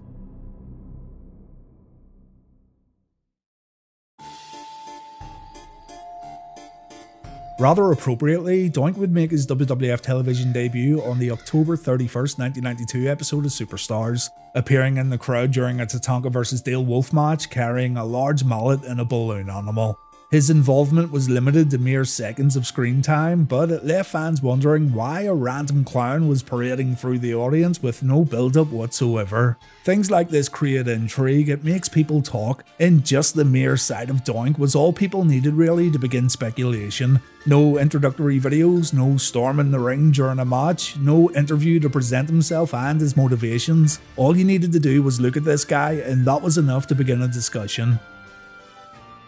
Over the following months, audiences would see more of the facets which made up the Doink character, such as playing pranks on his opponents and those in attendance, all to the backdrop of his deeply unnerving entrance theme, which wouldn't have sounded out of place in the It TV miniseries. His ring gear was a mixture of traditional clown makeup and a wig and a brightly coloured singlet which invoked memories of a court jester or harlequin. By the end of his matches, that grease paint would become smeared and smudged, while his blistering green hair would become dishevelled and bedraggled. But from beneath it all would be that sinister scowl, sending a message that yes, whilst he may be dressed as a clown, if you didn't take Doink seriously, the joke would very much be on you.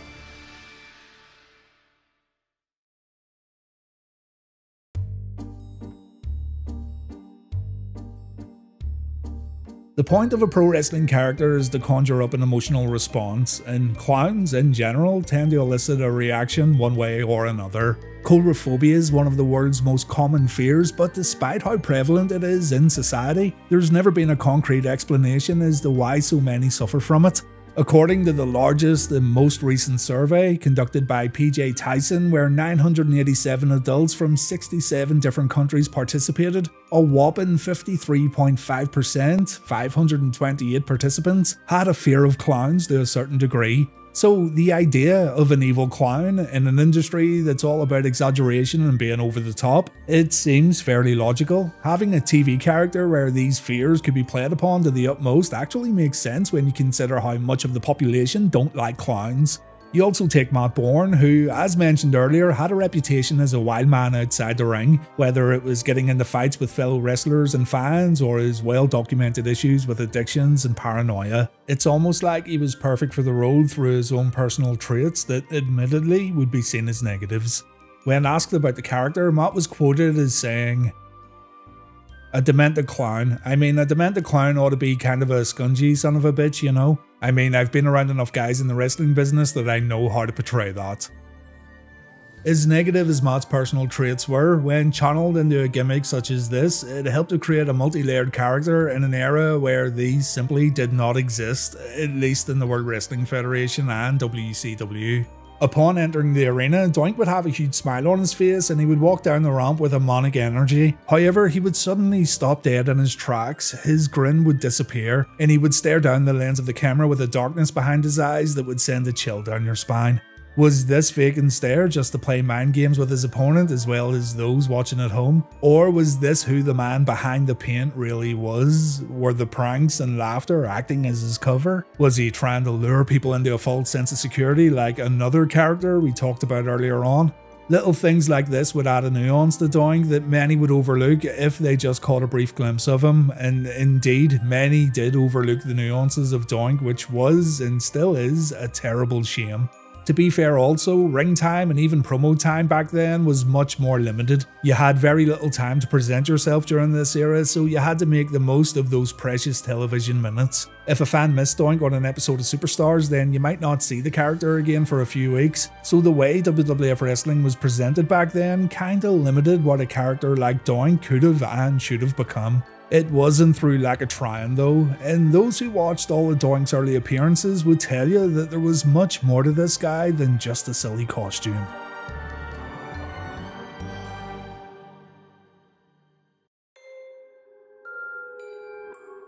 Once inside the ropes, the commentators would be quick to point out that while Doink's choice of attire was unusual to say the least, behind the red nose and the Gary singlet lay an incredibly sound technical wrestler, a man who had the ability to tie his opponents up in knots just as effortlessly as it would be to simply punch them square in the jaw.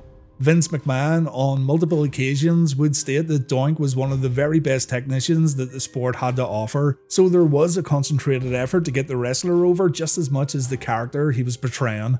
Throughout his matches, Doink would attack his opponents with hard hitting offense and painful submission holds, but he would also take the time between his assaults to smile and laugh, showing those watching just how much he enjoyed his work. While applying his stump puller finisher, Doink would look squarely down the barrel of the camera with the look of a man who showed absolutely no remorse for the pain he was inflicting on a fellow competitor, often refusing to break the hold even after his opponent submitted. One of Doink's more memorable characteristics were the pranks he would play on both fans in attendance and on his fellow superstars. Whether it be gifting a child at ringside a present only to find that the box was empty, or stealing a wrestler's entrance jacket while they were in the middle of a match and placing a kick me sign on the back of it, Doink always made sure he had fun at the expense of others. He would throw water on people, leave banana peels around ringside for wrestlers to slip on, and he would squirt people in the face with a flower he had attached to his jacket. When Doink would target those in the audience, he primarily went after younger fans to elicit the desired reaction, that being making them upset or even making them cry. The WWF would go as far as to get close ups of the children in the crowd looking as frightened as possible when Doink would make his entrance, and all this helped to make the character much more menacing and scary to younger viewers watching at home. Despite dressing like a clown and acting like a clown, it was never explained why the man behind the paint adopted this particular persona. This, in turn, would lead to speculation by the commentary team. Bobby Heenan put forth the idea that this was all mind games. This man was too good of a wrestler to simply be a clown. This is not a clown. This isn't a guy that goes around and passes out candy, makes people laugh, makes people happy or sad. This is an accomplished wrestler. And he has taken on, he has taken on this persona as Doink the Clown because he's trying to send a message to somebody. He's up to something. This man has a plan. He's too good a wrestler to be a clown. He has a plan. The image of the grease paint revealing more of the man underneath as his matches would go on was inadvertently a fantastic metaphor for the character itself. The layers of the facade would peel away to reveal what truly lay underneath it all. A sinister, disturbing, and unpredictable man whose sole purpose was to make sure that everyone around him was as miserable as he was.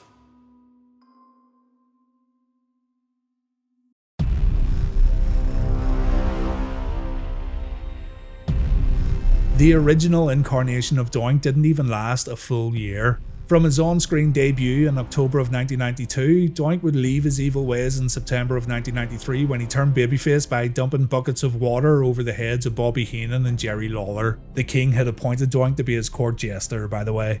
So there wasn't much of an opportunity for the character to have any real standout feuds or matches in this short time frame. Yes, there were memorable moments, but as far as prolonged angles were concerned, there really was only one, and that was his feud with Crush in early 1993.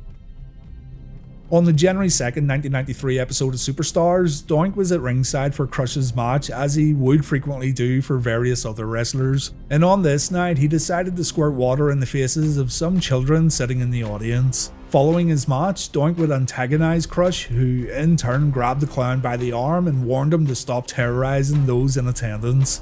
The next week, Doink came out in a sling and he offered Crush a flower by way of apology. The big man accepted the gift and went to leave, but Doink would reveal that the arm he had in his sling was a false one, later said to be filled with batteries and lead. And Doink would proceed to attack Crush from behind with this comical yet very effective weapon.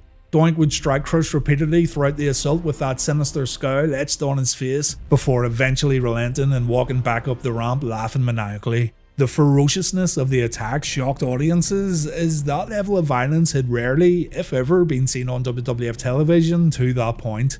This all culminated in their match at WrestleMania 9. The bout featured an infamous finish where a second Doink appeared and he helped the original Doink pick up the victory. The two would then do their now iconic mirror spot while Crush was laid out. And even though WrestleMania 9 is seen as a low point for the company, the image of the two Doinks lives on forever.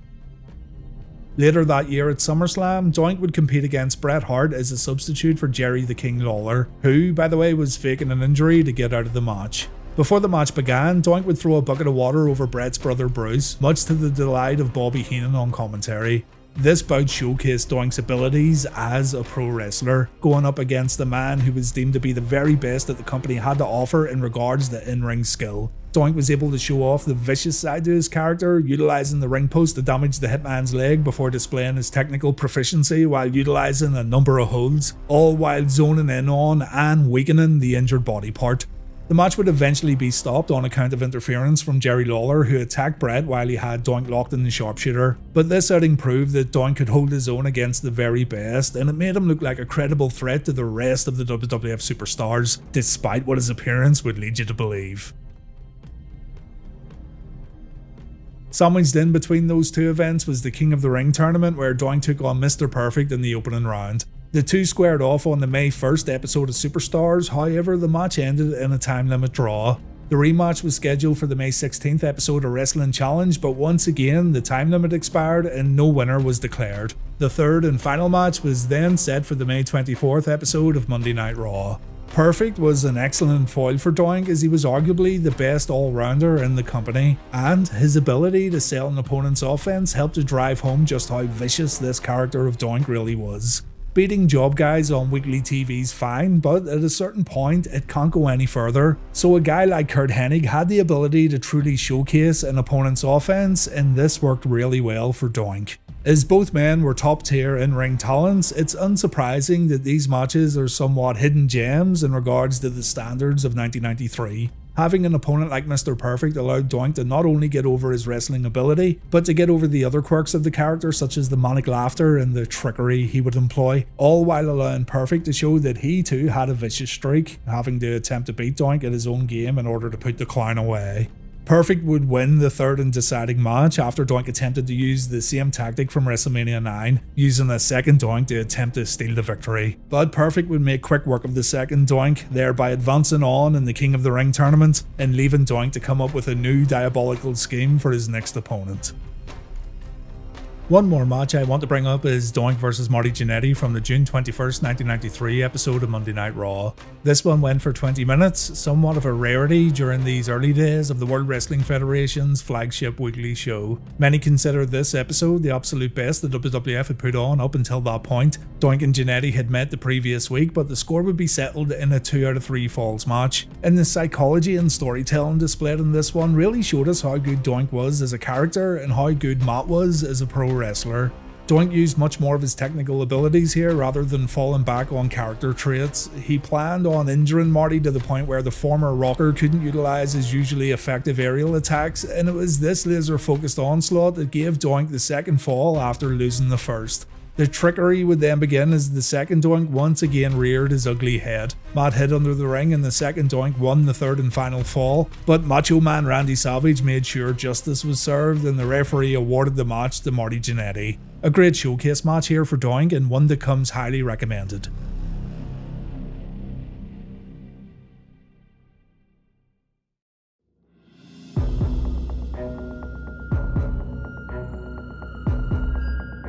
As mentioned earlier, the heel version of Doink didn't even last a calendar year, with Vince McMahon deciding to turn the evil clown into a babyface, portraying Doink as a stereotypical good time clown. As it would happen, Matt Borne wouldn't last much longer anyway, as he would be released from his contract following repeated drug abuse offences. Matt would recall being fired from the company by saying, we were staying in Boston and I was smoking weed in the hotel and I was fired, period. Why was I doing drugs? That's what I did. That's what addicts do. With Matt now permanently out of the company, the gimmick was bounced around a few people before finally being settled permanently on Ray Apollo. Doink would become a fan favourite during Apollo's portrayal of the character. He was used mainly as comic relief whilst continuing to pull pranks on various heels, albeit a lot more harmless than the outright cruel pranks from the previous iteration. And it was during this time that the character of Doink became synonymous among fans of, rather ironically, being a joke. Just to put this into perspective, in 1992, Doink was placed at number 26 in the PWI Top 5100, but by 1994, Doink was named by the Wrestling Observer as the most embarrassing wrestler of the year, being involved in the worst feud of the year against Jerry Lawler, and as having the worst match of the year taking place at that year's Survivor Series. While the bastardization of the character was taking place in WWF, Borne was on the independents trying to forge out a living with a new version of the character, most notably in the early days of Extreme Championship Wrestling. Matt would wrestle a few matches as Doink before Shane Douglas criticised Vince McMahon for turning someone as talented as Borne into a cartoon character, and this prompted Matt to take on the persona of Borne Again, this version of Matt Borne would have him wearing the Doink outfit, but with only a small amount of paint on his face and no green wig. Upon defeating his opponents, he would put the wig on their heads and berate them in a way like he was screaming at the past version of himself. It was very well done. Whilst the Borne Again gimmick did have some legs, it was quickly shut down when Vince sent legal documentation stating that the Doink character was his copyright. Matt would countersue, claiming that he was still owed money from the WWF for things such as merchandise, so as a compromise, Vince paid Matt his residuals and Borne stopped using the gimmick. Doink would appear sporadically in WWF and WWE throughout a number of years, even making an appearance in the gimmick Battle Royal at WrestleMania 17, while once again being played by Ray Apollo. Though Matt Borne did get to don the grease paint as Doink in the WWE one more time in 2007. This happened on the 15th anniversary special of Monday Night Raw when he competed in a Battle Royal.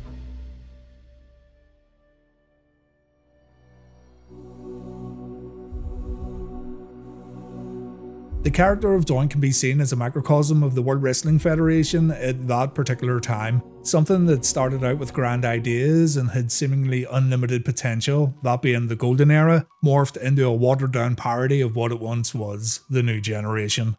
For that brief moment in time though, Doink the Clown was one of the most interesting and dare I say revolutionary characters in the history of pro wrestling. To have a gimmick with such depth and nuance at a time when wrestling garbage men and wrestling spacemen were becoming the norm, Doink stood head and shoulders above the rest, with those who followed him in the role unable to walk a mile in his clown shoes.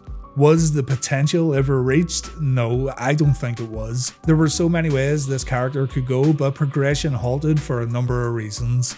Matt Borne was a deeply troubled and disturbed individual, residing in darkness for most of his life. However, it was that darkness that allowed Doink to shine as a beacon of light in this often ridiculed era of pro wrestling.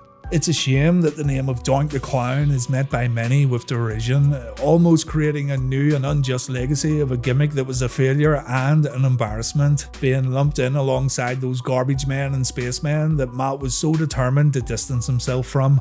Thankfully, though, in more recent times, fans have begun to revisit the original incarnation of Doink, and only now is Matt's portrayal of this evil character finally getting its flowers. At least these flowers won't squirt water in your face.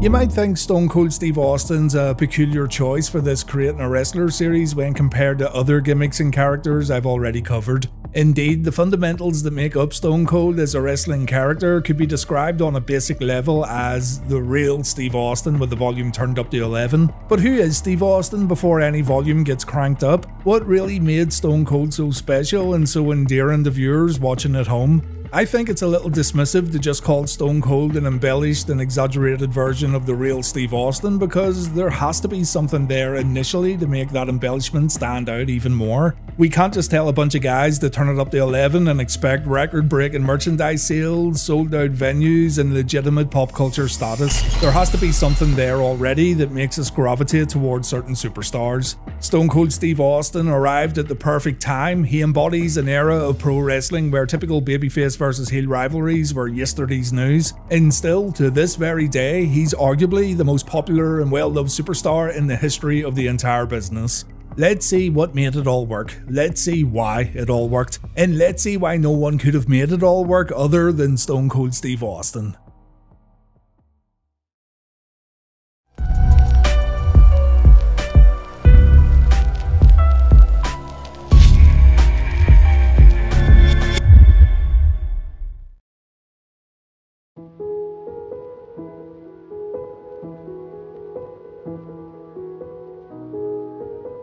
Steve Anderson was born on December 28, 1964, in Austin, Texas. His parents got divorced when he was still a young child, and Steve would end up taking the surname of his stepfather, Ken Williams. Steve Williams got a scholarship to attend the University of North Texas, where he would play as a linebacker, but a knee injury would see Williams play as a defensive end. The WWF or WWE like to point out the fact that Steve Austin was as blue collared as they come, and yes, this was a very true statement. Austin said in an interview with ABC News.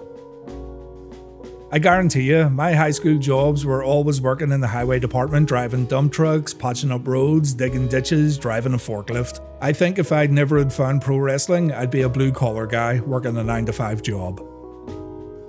While driving forklifts and working hard to earn a paycheck, Austin joined a wrestling school, training once per week under gentleman Chris Adams. The school took place inside the famous Dallas Sportatorium, the stomping grounds for legends of the business such as the Von Erichs and the Fabulous Freebirds. Austin was a pro wrestling fan from a young age, but after moving to attend university, he was able to go to the world class shows within the Sportatorium. So when Chris Adams advertised this wrestling school, Austin jumped at the chance. Steve wanted to do the things he saw on TV and maybe make a living out of it too. Austin's time at wrestling school wasn't great. Adams didn't smarten Steve up at all. And Austin said he only learned the inner workings of a wrestling match when competing in his first televised bout. The referee called his spots, and Austin was a little dumbfounded to say the least.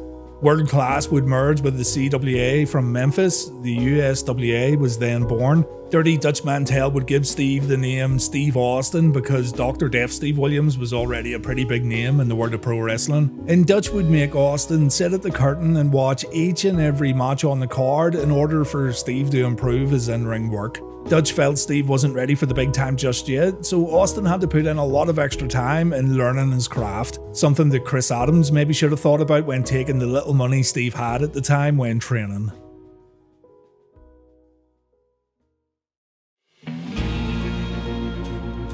Steve would go to WCW where he really made a name for himself. Stunning Steve Austin debuted in 1991 and later that same year he would join Paulie Dangerously's Dangerous Alliance. Being in this stable didn't give Steve Austin credibility because he already had credibility. He deserved his place in this faction. Stunning Steve was a sound technical wrestler who hung in there with the best WCW had to offer at the time, including the likes of Barry Windham and Ricky Steamboat. And while Austin wasn't as big of a name as, say, Rick Rude, Arn Anderson, or Larry Zbyszko, he still looked like he belonged in the Dangerous Alliance thanks to how good he was as a pro wrestler. He was a heel who could go in the ring and he carried himself like he was one of the best in the world. When the alliance broke up, Steve formed a tag team with Brian Pillman, something he wasn't too enamoured with at first, but it turned out to be an excellent move. And things then went downhill for Austin during a feud with Jim Duggan in 1994. Austin was defeated by Duggan at Halloween Havoc and at November's Clash of the Champions show. WCW were more concerned about pushing former WWF stars around this time period, and it really did look like Austin's time was up in World Championship Wrestling. The following year, while Austin was rehabbing an injury, Eric Bischoff sent the future Stone Cold a letter via FedEx that confirmed that he had been fired from the company. Bischoff felt there was no money to be made when it came to Steve Austin, and Bischoff also felt that Austin was very difficult to work with. So Steve took himself to ECW where, for a brief period of time, he became superstar Steve Austin, a man with a chip on his shoulder for how he was treated by Eric Bischoff. Austin would poke fun at Bischoff and Hulk Hogan through his promos, he would make self-deprecating jokes about his run in WCW, and all this was important to Steve Austin as a character because it showed fans that this guy was very entertaining when taken off his leash. Austin had shown his comedic timing during his stint in the Hollywood Blondes, but Paul Heyman given Austin a microphone and a platform without a typical wrestling script or scenario, this is what made people realise that this guy could be something special. Mick Foley was one of the first guys to realise Steve's potential, a potential that WCW and Eric Bischoff didn't even get close to realising.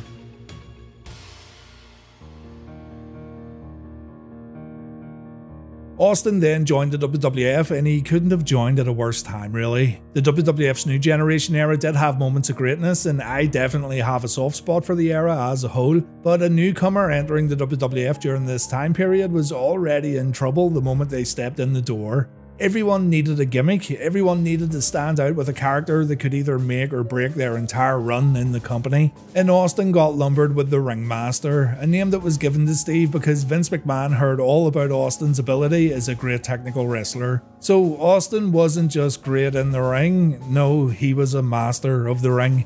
What's equally as bad is the fact that Austin was given a mouthpiece, and that mouthpiece was Ted DiBiase. The Ringmaster would debut as DiBiase's new million dollar champion, but practically everyone who watched Austin in the Hollywood Blondes and in ECW knew that Austin didn't need someone to speak for him. It was a weird decision to say the least, and it's not like an association with Ted DiBiase meant a whole lot in late 95 and early 96.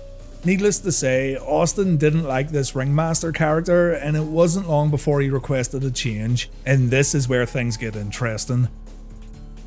What many people tend to forget is that Austin's initial gimmick change, the Stone Cold character as we know it, it was actually inspired by a serial killer.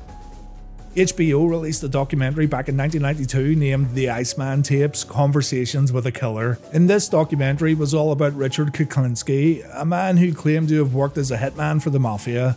Kuklinski got his nickname the Iceman due to how he had frozen one of his victims' bodies to try and fool the authorities in regards to the time of the victim's death. But it was Richard's cold attitude and lack of emotion that gave Austin an idea.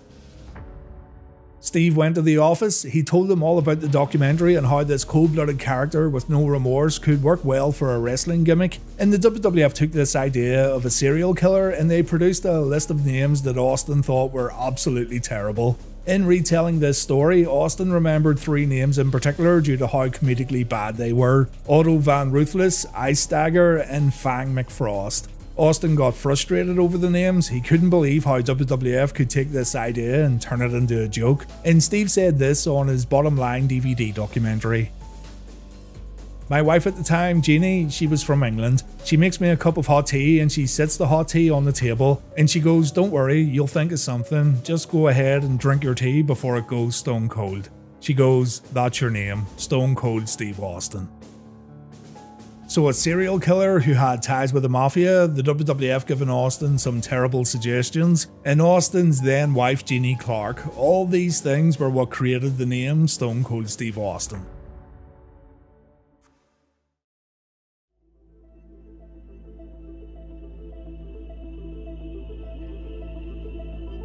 That ice cold serial killer thing just didn't help produce Austin's new ring name. In the very early days, it also affected his mannerisms those who watched Steve's very early matches as Stone Cold would remember his cold stare into the camera as he walked down to the ring, and the cold stare to the camera after Austin had beaten up his opponents. While it didn't last long, the original Stone Cold was quite different from the one who found immense popularity, but do take the time to go back and watch these early Stone Cold matchups. You can see the influence the Iceman documentary had on Steve Austin. The switch was flipped though at the 1996 King of the Ring. The Austin 316 promo was incredibly important in changing who Austin was as a character, and it was Steve saying, Austin 316 says I just whipped your ass. That made him a little more loose in comparison to the whole Iceman thing. And the King of the Ring promo also showed everyone that Austin didn't care at all about what others thought of him. The language he used, the way he addressed Jake Roberts, and the way he addressed the fans, the way he said thumping the Bible got Jake nowhere, and how Steve put the WWF on notice, it all came together perfectly and while Austin would remain quite cold hearted and self centered, he would also speak his mind a whole lot more without caring much about the consequences. What you really need to remember here and what you need to take into consideration is the general landscape of pro wrestling as a whole. The Austin 316 promo happened one month before the NWO debuted in World Championship Wrestling, and both of these events marked a shift in pro wrestling where being bad was now cool and being anti establishment yielded a much more raw crowd response. Times were changing, the days of a white meat babyface going up against the forces of evil was really played out, and fans wanted something a bit more mature they could rally behind because both WWF and WCW had been way too colourful and way too safe throughout the mid 90s. Teenage kids would be embarrassed to admit they watched pro wrestling. There was very little about wrestling that was cool unless you had access to things like ECW. And within the space of one month, here comes Steve Austin telling people he'll whip their asses if they step out of line. And here comes this black and white anti establishment group trying to take over an entire organisation. Now, with all this in mind, the rise of Steve Austin was far different from what the WWE like to say it was through their documentaries and whatnot. There wasn't a sea of Austin 316 signs in the audience following the King of the Ring, and all you have to do is watch Raw following the June 1996 pay per view to debunk that myth for yourself. Stone Cold Steve Austin really needed a strong opponent and a strong rivalry to really turn it up, and that opponent will get brought up later in this video. But I'd even go as far as saying Austin floundered a little following the 1996 King of the Ring. Yes, he did cut promos where he was able to show this new carefree attitude of his, and yes, he was able to show he was a relentless ass kicker who had no respect for officials, particularly Gorilla Monsoon, and Steve Austin would disagree on a lot of things. But Stone Cold had to put in a lot more work following the 1996 King of the Ring, and that sometimes goes unnoticed.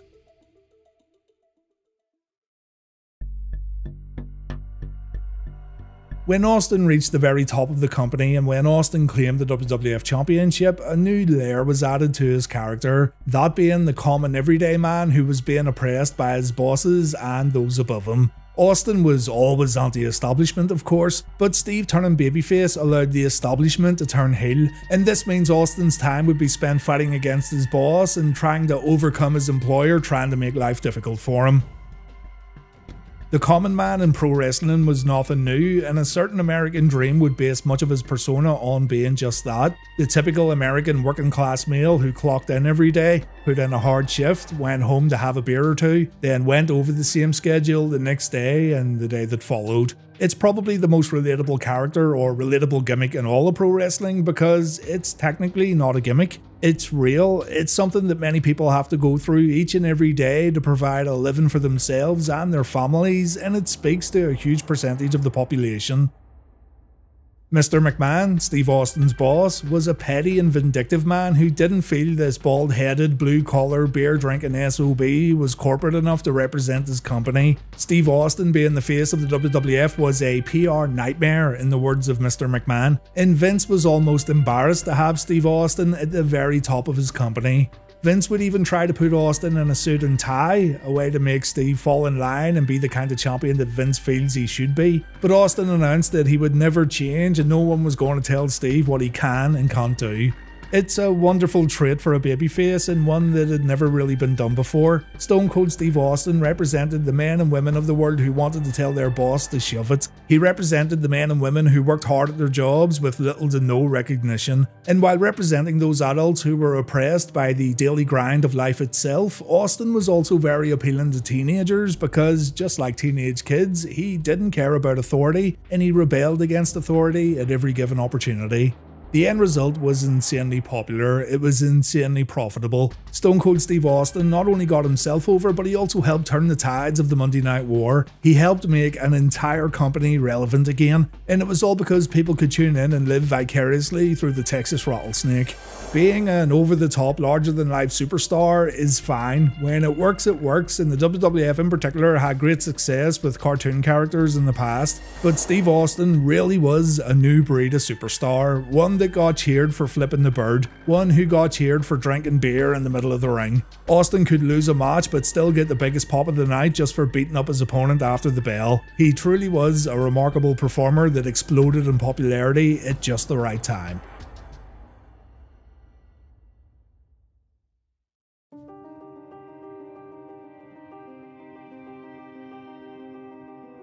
I could spend hours talking about career highlights for Stone Cold Steve Austin, I really could. There's so many matches and moments that helped to create and evolve Steve Austin that I could legitimately make an entire video series on the subject, and I wouldn't run out of ideas for a very long time. With this video though, I wanted to focus on the early days of Stone Cold and the things that make up the wrestler that is Stone Cold Steve Austin. So it would be foolish of me not to mention the Bret Hart feud that really kicked off at Survivor Series 1996. Austin got quite the push from Bret even before the two met in the ring at Madison Square Garden. Bret returned to the WWF just before the pay per view and he announced that Steve Austin was the best wrestler the company had to offer, and that's why Bret wanted to face Steve at the 1996 Survivor Series. Austin had been making fun of Bret quite a lot while the Hitman was off TV, but that didn't stop Bret giving Austin his approval as a pro wrestler before the two locked up on pay per view. Austin vs. Hart at Survivor Series showed everyone that Austin was the real deal. Those who watch World Championship Wrestling already knew this, of course, but up until that point, Austin didn't ever get a chance to really show what he could do against a highly proficient wrestler such as Bret Hart. The match had it all, but there is a focus here on technical wrestling, something that was reined in quite a bit for their submission match showdown at WrestleMania. And even though Austin didn't beat Bret in the garden, he still came out of the match looking like a million bucks. Austin knew he almost had Bret, he was inches away from beating the best of all time, and this loss would only fuel Stone Cold's desire to one day beat Bret and get a little revenge. After a lot of turbulence and after further establishing himself as a badass who didn't care about the rules, see the 1997 Royal Rumble for example, Austin would then go into WrestleMania 13 where he refused to give up the Bret Hart sharpshooter. The fact that Austin wouldn't quit gave Stone Cold a lot, and I mean a lot of new fans. Bret was doing a lot of complaining around this time of his career too, which did help a lot in making Stone Cold a bit more favourable in the eyes of wrestling fans. But Austin showed a lot of heart when refusing to give up, and this made fans gravitate towards Austin like never before. Following WrestleMania 13, Austin's attitude didn't change, but a lot of fans' attitude towards Austin certainly did. And even Austin himself said that there would be no Stone Cold without Bret the Hitman Hart. It was one of the greatest rivalries in pro wrestling, and it's one of those rivalries that helped shape the business in a big way.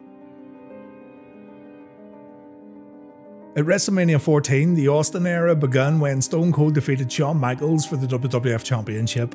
While Austin admitted the match could have been better, and while everyone knew Shawn was going into the match in a bad way, both physically and mentally, the importance of the match should never be overlooked.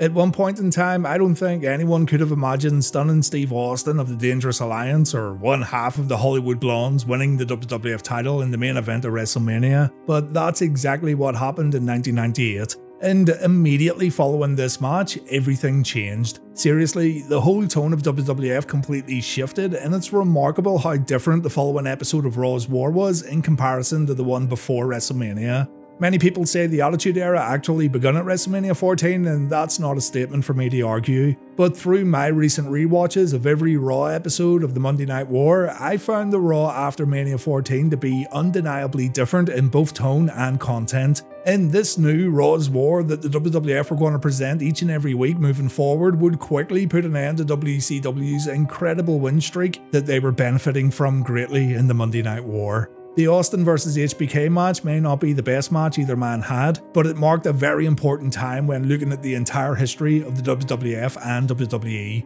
It's interesting to think about what could have been had Austin not won the championship when he did. Many would say that Steve Austin's greatest ever rival was Mr. McMahon.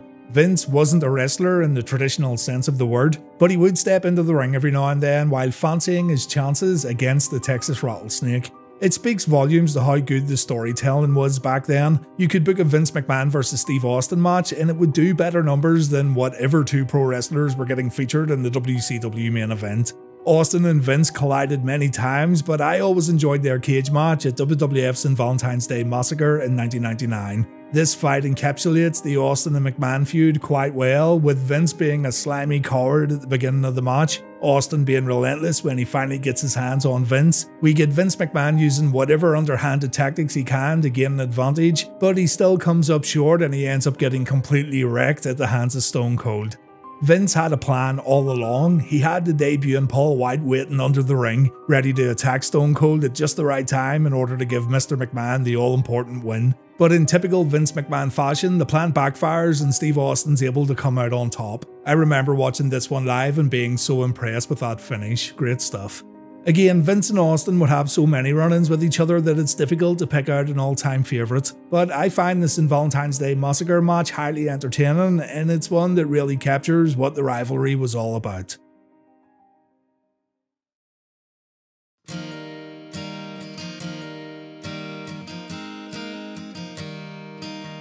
Stone Cold Steve Austin was a legitimate game changer for the World Wrestling Federation. Being such a consistent draw and being so important to the growth of WWF, it's hard to imagine Austin or McMahon wanting to mess around with the formula in fear of killing off the Golden Goose. Austin, however, wanted to turn heel again in 2001. He felt that his run was becoming a bit stale and he needed to switch things up in order to stay fresh and relevant. The turn happened at WrestleMania 17 when Austin aligned himself with Mr. McMahon, and the turn was nowhere near as successful as Austin initially hoped.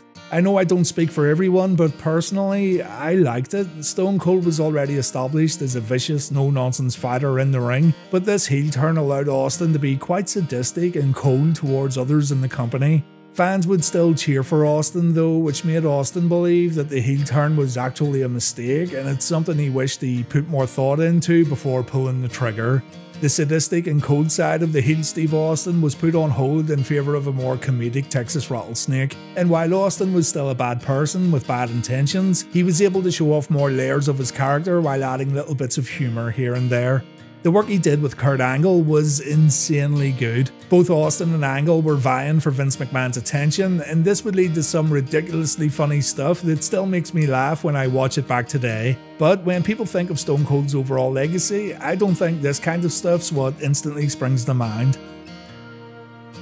Following the invasion storyline, the decision was made to turn Stone Cold back to a good guy, though his days as an active full time wrestler would soon be over. But Austin ended it all as that same Stone Cold Steve Austin that rose in prominence in the late 90s. The no nonsense brawler walked into WrestleMania 19 for his final match against longtime rival The Rock, and even though Rock defeated Stone Cold, the Rattlesnake left pro wrestling still at the top of his game in terms of popularity. He would return to the WWE as the sheriff of the Monday Night Raw brand, which was also incredibly entertaining. His work right here with Eric Bischoff gave Austin more opportunities to show how much of a naturally funny guy he was.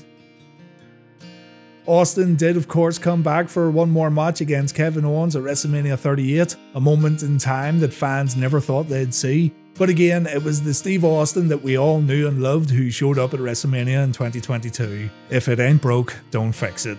So, in short, there wasn't any real concentrated efforts to evolve the fundamental character of Stone Cold Steve Austin because it just didn't make sense to change things up. Stone Cold didn't need to change even when Austin himself thought otherwise.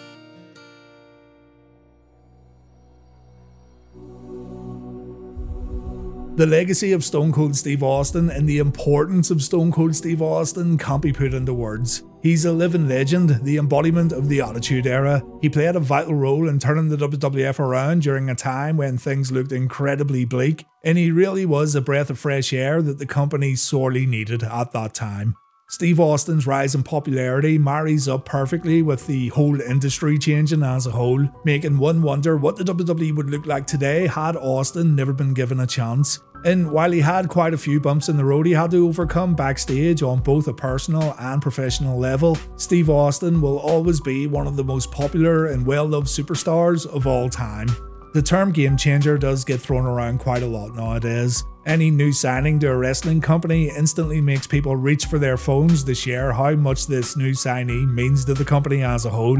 Stone Cold Steve Austin was a bona fide game changer that completely altered the course of pro wrestling, and it would take nothing short of a miracle for his success to be duplicated by others.